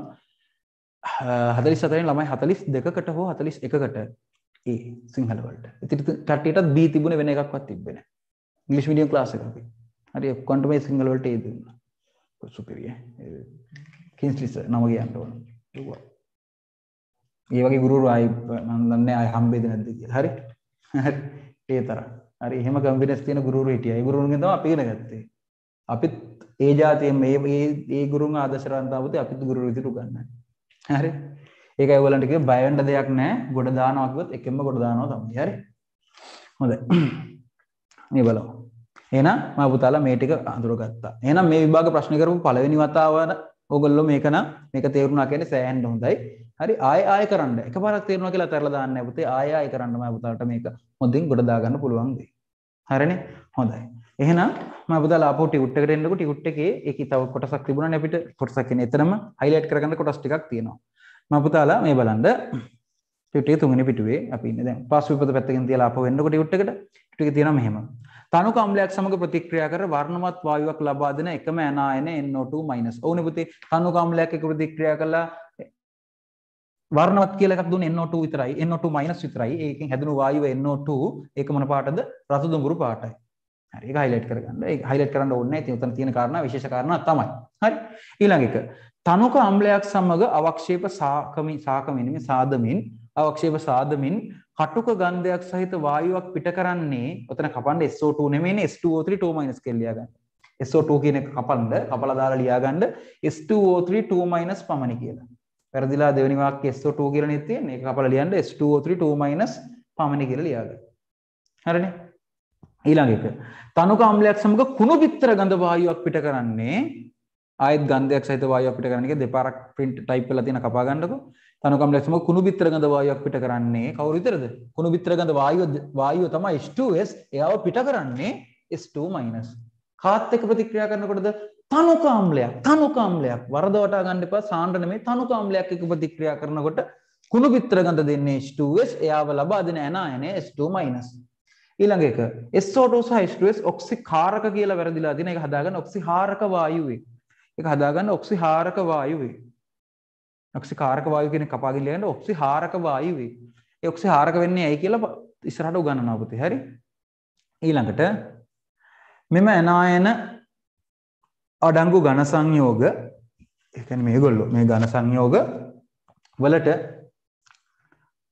තනුක අම්ලයක් දැම්මම මෙන්න මේ දැම්මම ඒ ඝනය දියවිලා තමයි වායුව පිට වුනේ. ඒ ඝනය දියවිලයි වායුව පිට වෙන්නේ කියන කතාව තේරෙන කට්ටියත් ඔස්සන අර අපි මැව්වේ. මේ ඝනයක් තියෙනවා. ඒ ඝනය තියෙනකොට තනුක අම්ලයක් දානකොට ඒ ඝනය මොනවා වෙන්න ඕනද? දිය වෙන්න ඕන. දිය වෙලා තමයි මේ වායුව පිට වෙන්න ඕන. ඒක මවාගෙන තේරුණු කට්ටියත් ඔස්සන්න. තනුක අම්ලයක් දාම මේ ඝන ටික දිය වෙනවා කියලා මැවුණු කට්ටිය තේරුණු කට්ටියත් ඔස්සන්න. ඒක තේරෙන්න ඕන පුතේ. ඝනය දිය වෙලා තමයි වායුව පිට වෙන්නේ. ඝනය නිකම්ම ඉන්නකොට වායුව මෙහෙම පිට වෙන්නේ නැහැ. ඒක දිය වෙමින් තමයි වායුව ඒකේ තිබුණු සල්ප මේ මෙතන තියෙන සල්ප ටික ඝනයේ තියෙන සල්ප දිය වෙලා වාෂ්ප වෙනවා. ඒ සල්ප ටිකම තමයි වාෂ්ප විදිහට යන්නේ. ඒක තේරුම් ගන්න. හරි. ඊළඟට දැන් දැන් අපි කතා කරන්නේ පුතේ මෙන්න මෙව්වා. මෙන්න මේ ඇනායන සෙට් එක. මේ ඇනායන සෙට් එකේ මේ අර්ධ ඇනායන කියලා කට්ටියක් ඉන්නවා. ඒ කියන්නේ පුතේ මේගොල්ලන්ට H හයිඩ්‍රජන් කෙනෙක් H+ සම්බන්ධ වුණොත් ප්‍රෝටෝනයක් සම්බන්ධ වුණොත් H+ කියන්නේ ප්‍රෝටෝනනේ. H+ එකක් සම්බන්ධ වුණොත් මෙයාට හැදෙනවා මේගොල්ලන්ගේ අර්ධ ඇනායන. මේකට H+ ආවොත් HS- වෙනවා. H+ එකක් ආවොත් මෙහෙම වෙනවා. මෙයාට H+ එකක් ආවොත් HSO3- වෙනවා. හරිද? ඒ වගේ මෙයාට ආවොත් HCO3 ඍණ දෙකකින් එකක් යනවා මෙහෙම වෙනවා. මේවට කියන්නේ අර්ධ ඇනායන කියලා. හරි? ඔයා මෙයාට තනුක අම්ලයක් දැම්මත් පිට වෙන්නේ හරි? මෙයාට තනුක අම්ලයක් දැම්මත් පිට වෙන්නේ H2S. මෙයාට තනුක අම්ලයක් දැම්මත් පිට වෙන්නේ H2S. එම ඇනායනයට හෝ එම ඇනායනයේ අර්ධ ඇනායනය කියන දෙකම එක විදිහට තමයි ප්‍රතික්‍රියා කරන්නේ. ඒත් පිට වෙන්නේ නැහැ. හරි. මෙයා මෙයාත් කාබනේට් තනුක අම්ලයක් දැම්මම පිට වෙන්නේ කාබන් ඩයොක්සයිඩ් නේ. ඒ වගේම තමයි බයිකාබනේට් හයිඩ්‍රජන් කාබනේට් කියන අර්ධ ඇනායනයට තනුක අම්ලයක් දැම්මත් පිට වෙන්නේ කාබන් ඩයොක්සයිඩ්. ඔය අර්ධ ඇනායන කතාව තේරුණු කට්ටියත් උස්සන්න. එයා වගේම එයාට H+ එකක් ආවත් අවුලක් නැහැ. එයාට අම්ලයක් තනුක අම්ලයක් දැම්මත් පිට වෙන්නේ ඔය වායුම තමයි. හරි. ඔන්න මම ඒ ටික පැත්තකින් ලියාගෙන තියෙනවා. ඔතන ටියුට් එකෙත් ඒ ටික තියෙනවා. මෙම ඇනායනවල අර්ධ ඇනායනවල HS- HSO3- HCO3- යන ඇනායන වලින්ද මෙම වායූන්ම පිට වේ කියලා තියෙනවා. හරි. හොඳයි පුතේ. ඊට පස්සේ ගානේ අවසානයේට මම පුතාලට මම පහසු වෙන්න ප්‍රතික්‍රියා ටිකක් දීලා තියෙනවා. රත්තරන් පුතේ මේක මෙහෙම වෙනවා කියලා විතරක් දැනගෙන අපිට අඳුර ගන්න පුළුවන් ඇනායන ටික. ඒක අපිට අවුලක් නැහැ. ඒ වගේම තමයි මම පුතාලට පුළුවන් වෙන්න ඕන එකේ ප්‍රතික්‍රියා ටික ලියන්න. දැන් බලන්නකො මම යට ප්‍රතික්‍රියා ටිකත් ඔයාලට දීලා තියෙනවානේ. විභාග ප්‍රශ්න වලට උත්තර ලියන්නමයි මේ ෂෝට් නෝට් හදලා තියෙන්නේ. හරි. ඒකෝර මම දන්නවා අහන ප්‍රශ්නත් දන්නවා දෙන්න ඕන උත්තරත් දන්නවා. ඒ ඔක්කොන්ටම හරියන්නයි මම ෂෝට් නෝට් එක හදලා තියෙන්නේ. බලන්නකො. K2S මම පුතාලට පේනවා උතන යට දීලා තියෙනවා K2S කියලා එකක්. දැන් K2S කියන්නේ මොන අයනද තියෙන්නේ කියන්නකො. S2-. එතකොට S2- අයනයේ තියෙන කෙනෙක්. මෙයාට දාලා තියෙනවා HCl. පුතේ දැන් තනුක අම්ලයක් දාලා. මෙතන ඔයා K2S නෙවෙයි ඔලුවට මවෙන්න ඕන. ඔයාට කාවද? S2- මෙතන තියෙන S2- මැවිලා මෙයාව මැවෙන්න ඕන තනුක අම්ලයක් විදියට. මෙන්න තනුක අම්ලේ මෙන්න S2- අයනය මොකද්ද සුද්ධෝ පිට වෙන වායුව? H2S නේද? කුණු බිත්තර ගඳ වායුවක්. ගඳ දැනෙන්න ඕන පුතේ. හරි. හරි. ගඳ දැනෙන්න ඕන මේකේ. හරි. ප්‍රතික්‍රියාවක් ලියද්දි ගඳට ලියන්න ඕන. හරි. අම්මෝ H2S කියලා ලියන්න ඕන. ඇයි? මේක මේක K2S කියලා තිබ්බට ඔයාගේ කෙමිස්ට්‍රි දන්න ඔයාගේ ඔළුවට යන්න ඕනේ S2- තියෙන්නේ. HCl කිව්වම ආන් තනුක අම්ලයක් දාලා. ආ එහෙනම් පිට වෙන්න ඕන H2S. එහෙනම් එතනින් තව හැදෙනවා. මෙතන පොටෑසියම් තියෙනවානේ K+. ක්ලෝරින් තියෙනවානේ Cl-. ඒ දෙන්න එකතු වෙලා මොකක් හැදෙයිද? ඒ දෙන්න KCl හදාගන්න. මෙතන කැටායනය K+ මෙතන ඇනයනය Cl- එතනින් හැදෙනවා KCl. ඔය ප්‍රතික්‍රියාව හදාගන්න එහෙමයි. තේරුණාද ඒක? දැන් ඊළඟ එකක් බලන්නකෝ. ඊළඟ එකේ බලන්නකෝ. ඔය තියෙන්නේ. ඊළඟ එකේ තියෙන්නේ මෙහෙම එකක්. n sodium nitrate නේද? sodium sorry sodium sulfide. sodium sulfide එකකට මොනවද දාලා තියෙනවා? HNO3 කියන අම්ලයක් දාලා තියෙනවා. එයත් අණුක අම්ලයක් දාලා. හරිද? මොකක් හරි අම්ලයක් දාලා. දැම්මහම SO3 ඔයාට Na2SO3 කිව්වහම ඔයාට මේ මේ මේගොල්ලන්ග නෙමෙයි පේන්න ඕනේ. මෙන්න මෙයා මොකද්ද? යා SO3 ආ මේන්න මේ මෙයා මෙයා මෙයා මෙයා. එයාට මොකද්ද? අම්ලයක් දාලා HNO3 අම්ලයක් දැම්මාම එයා පිට කරේ කටුක ගන්ධයක් සහිත SO2 නේද කියලා මතක් වෙන්න ඕනේ. ඊට පස්සේ හැදෙනෙව්වා මෙතන Na+ තියෙනවා. හරි. මෙතන NO3- තියෙනවානේ. Na+ තියෙනවා NO3- තියෙනවා එතනින් ඔයා ලියා ගන්න ඕනේ NaNO3 කියලා. හරි. කැටායනයි අනායනයි මිශ්‍ර කරන්න තියෙන්නේ. ඊට පස්සේ H තියෙනවා O තියෙනවා එතනින් ආයි ජලය හැදෙනවා කියලා යන්න. ප්‍රතික්‍රියා ටික කොහොම හරි ක්‍රමයකින් මතක මේ හදා ගන්න ලස්සනයිනේ. හරි. ප්‍රතික්‍රියා ටික ලස්සන මතක තියාගත්තාම වැඩේ ගොඩ ලකුණු ටිකත් ඔක්කොම එනවා. හරි කැටායන යන මාරු කරලා පිට වෙන වායු ටික මතක තියාගන්නවා. කැට ඉතිරි ටික හදලා ගන්නවා. NO3- උයි Na+ උයි. හැදුනම NaNO3. ඊට අමතරව H තියෙනවා. හරි ඔක්සිජන් තියෙනවා. ඉතින් ටිකට ජලය දානවා. ඊළඟ ප්‍රතික්‍රියාවත් බලන්නකෝ. හරි ඊළඟ ප්‍රතික්‍රියාව බලන්න. අවසාන එක ඔය විදිහට ප්‍රතික්‍රියාව හදන්න ෂේප් එකේ. හරි ඔව ලියලා ප්‍රැක්ටිස් වෙන්න පුතේ. හරි ප්‍රතික්‍රියා ලියලා ලියලා ලියලා ප්‍රැක්ටිස් වෙන්න. හරි. මොකක්ද ඊළඟ එක? K2 S2O3 ප්‍රතික්‍රියා කරලා තියෙන කාත් එක්කද පුතේ? HCl එක. දැන් ඉතින් මෙයාවත් හදාගන්න ලේසිනේ පුතේ. මේක දැක්ක ගමන් ඔයාට මැවෙන්න ඕනේ මේ ටික විතරයි ඔලුවට යන්න ඕනේ එකපාරම. ආ තයෝසල්ෆේට් මෙන්න අම්ලයක් දාලා පළ දෙකයි සර් කිව්වා පළ දෙකයි කියලා SO2 පිට වෙන ගමන් ලා කහ පාට ආවිලතාවයක් අන්ට ඩඩා අන්න මතකයි. ඊට පස්සේ K+ තියෙනවා Cl- තියෙනවා KCl H තියෙනවා O තියෙනවා ආජාලය. වැඩේ ඉවරයි. බලන්න කොච්චර ලේසිද කියලා ඊට පස්සේ ඉතින් තුරුත කරගන්න තියෙන්නේ. හරි. ප්‍රතික්‍රියත් එක්කම අපතාලා මතක තියාගත්තොත් අපතාලට හොඳ ලකුණකට යන්න පුළුවන්. හරිනේ. ඔන්න වචනයක් කියලා පටන් ගත්තේ පන්තිය. ඒක ඔප්පු කරලා ඉන්නේ විභාග ප්‍රශ්න වලට උත්තර ලියන්න පුරුදු කරනවා කියලා. තාම මේ පළවෙනි දවසේ. තාම පැය දෙකමාරයි පන්තිය කර පැය දෙකමාරක්වත් නැහැ. හරි ගොඩක් වෙලා හැමතර දේවල් උත් අපි කතා කරානේ. ඉතින් පුතා අපිට මෙච්චර දෙයක් කරගන්න පුළුවන් නම් පැය දෙකමාරට විභාගට දවස් 75ක්ද කොහෙද තියෙනවනේ. හරි.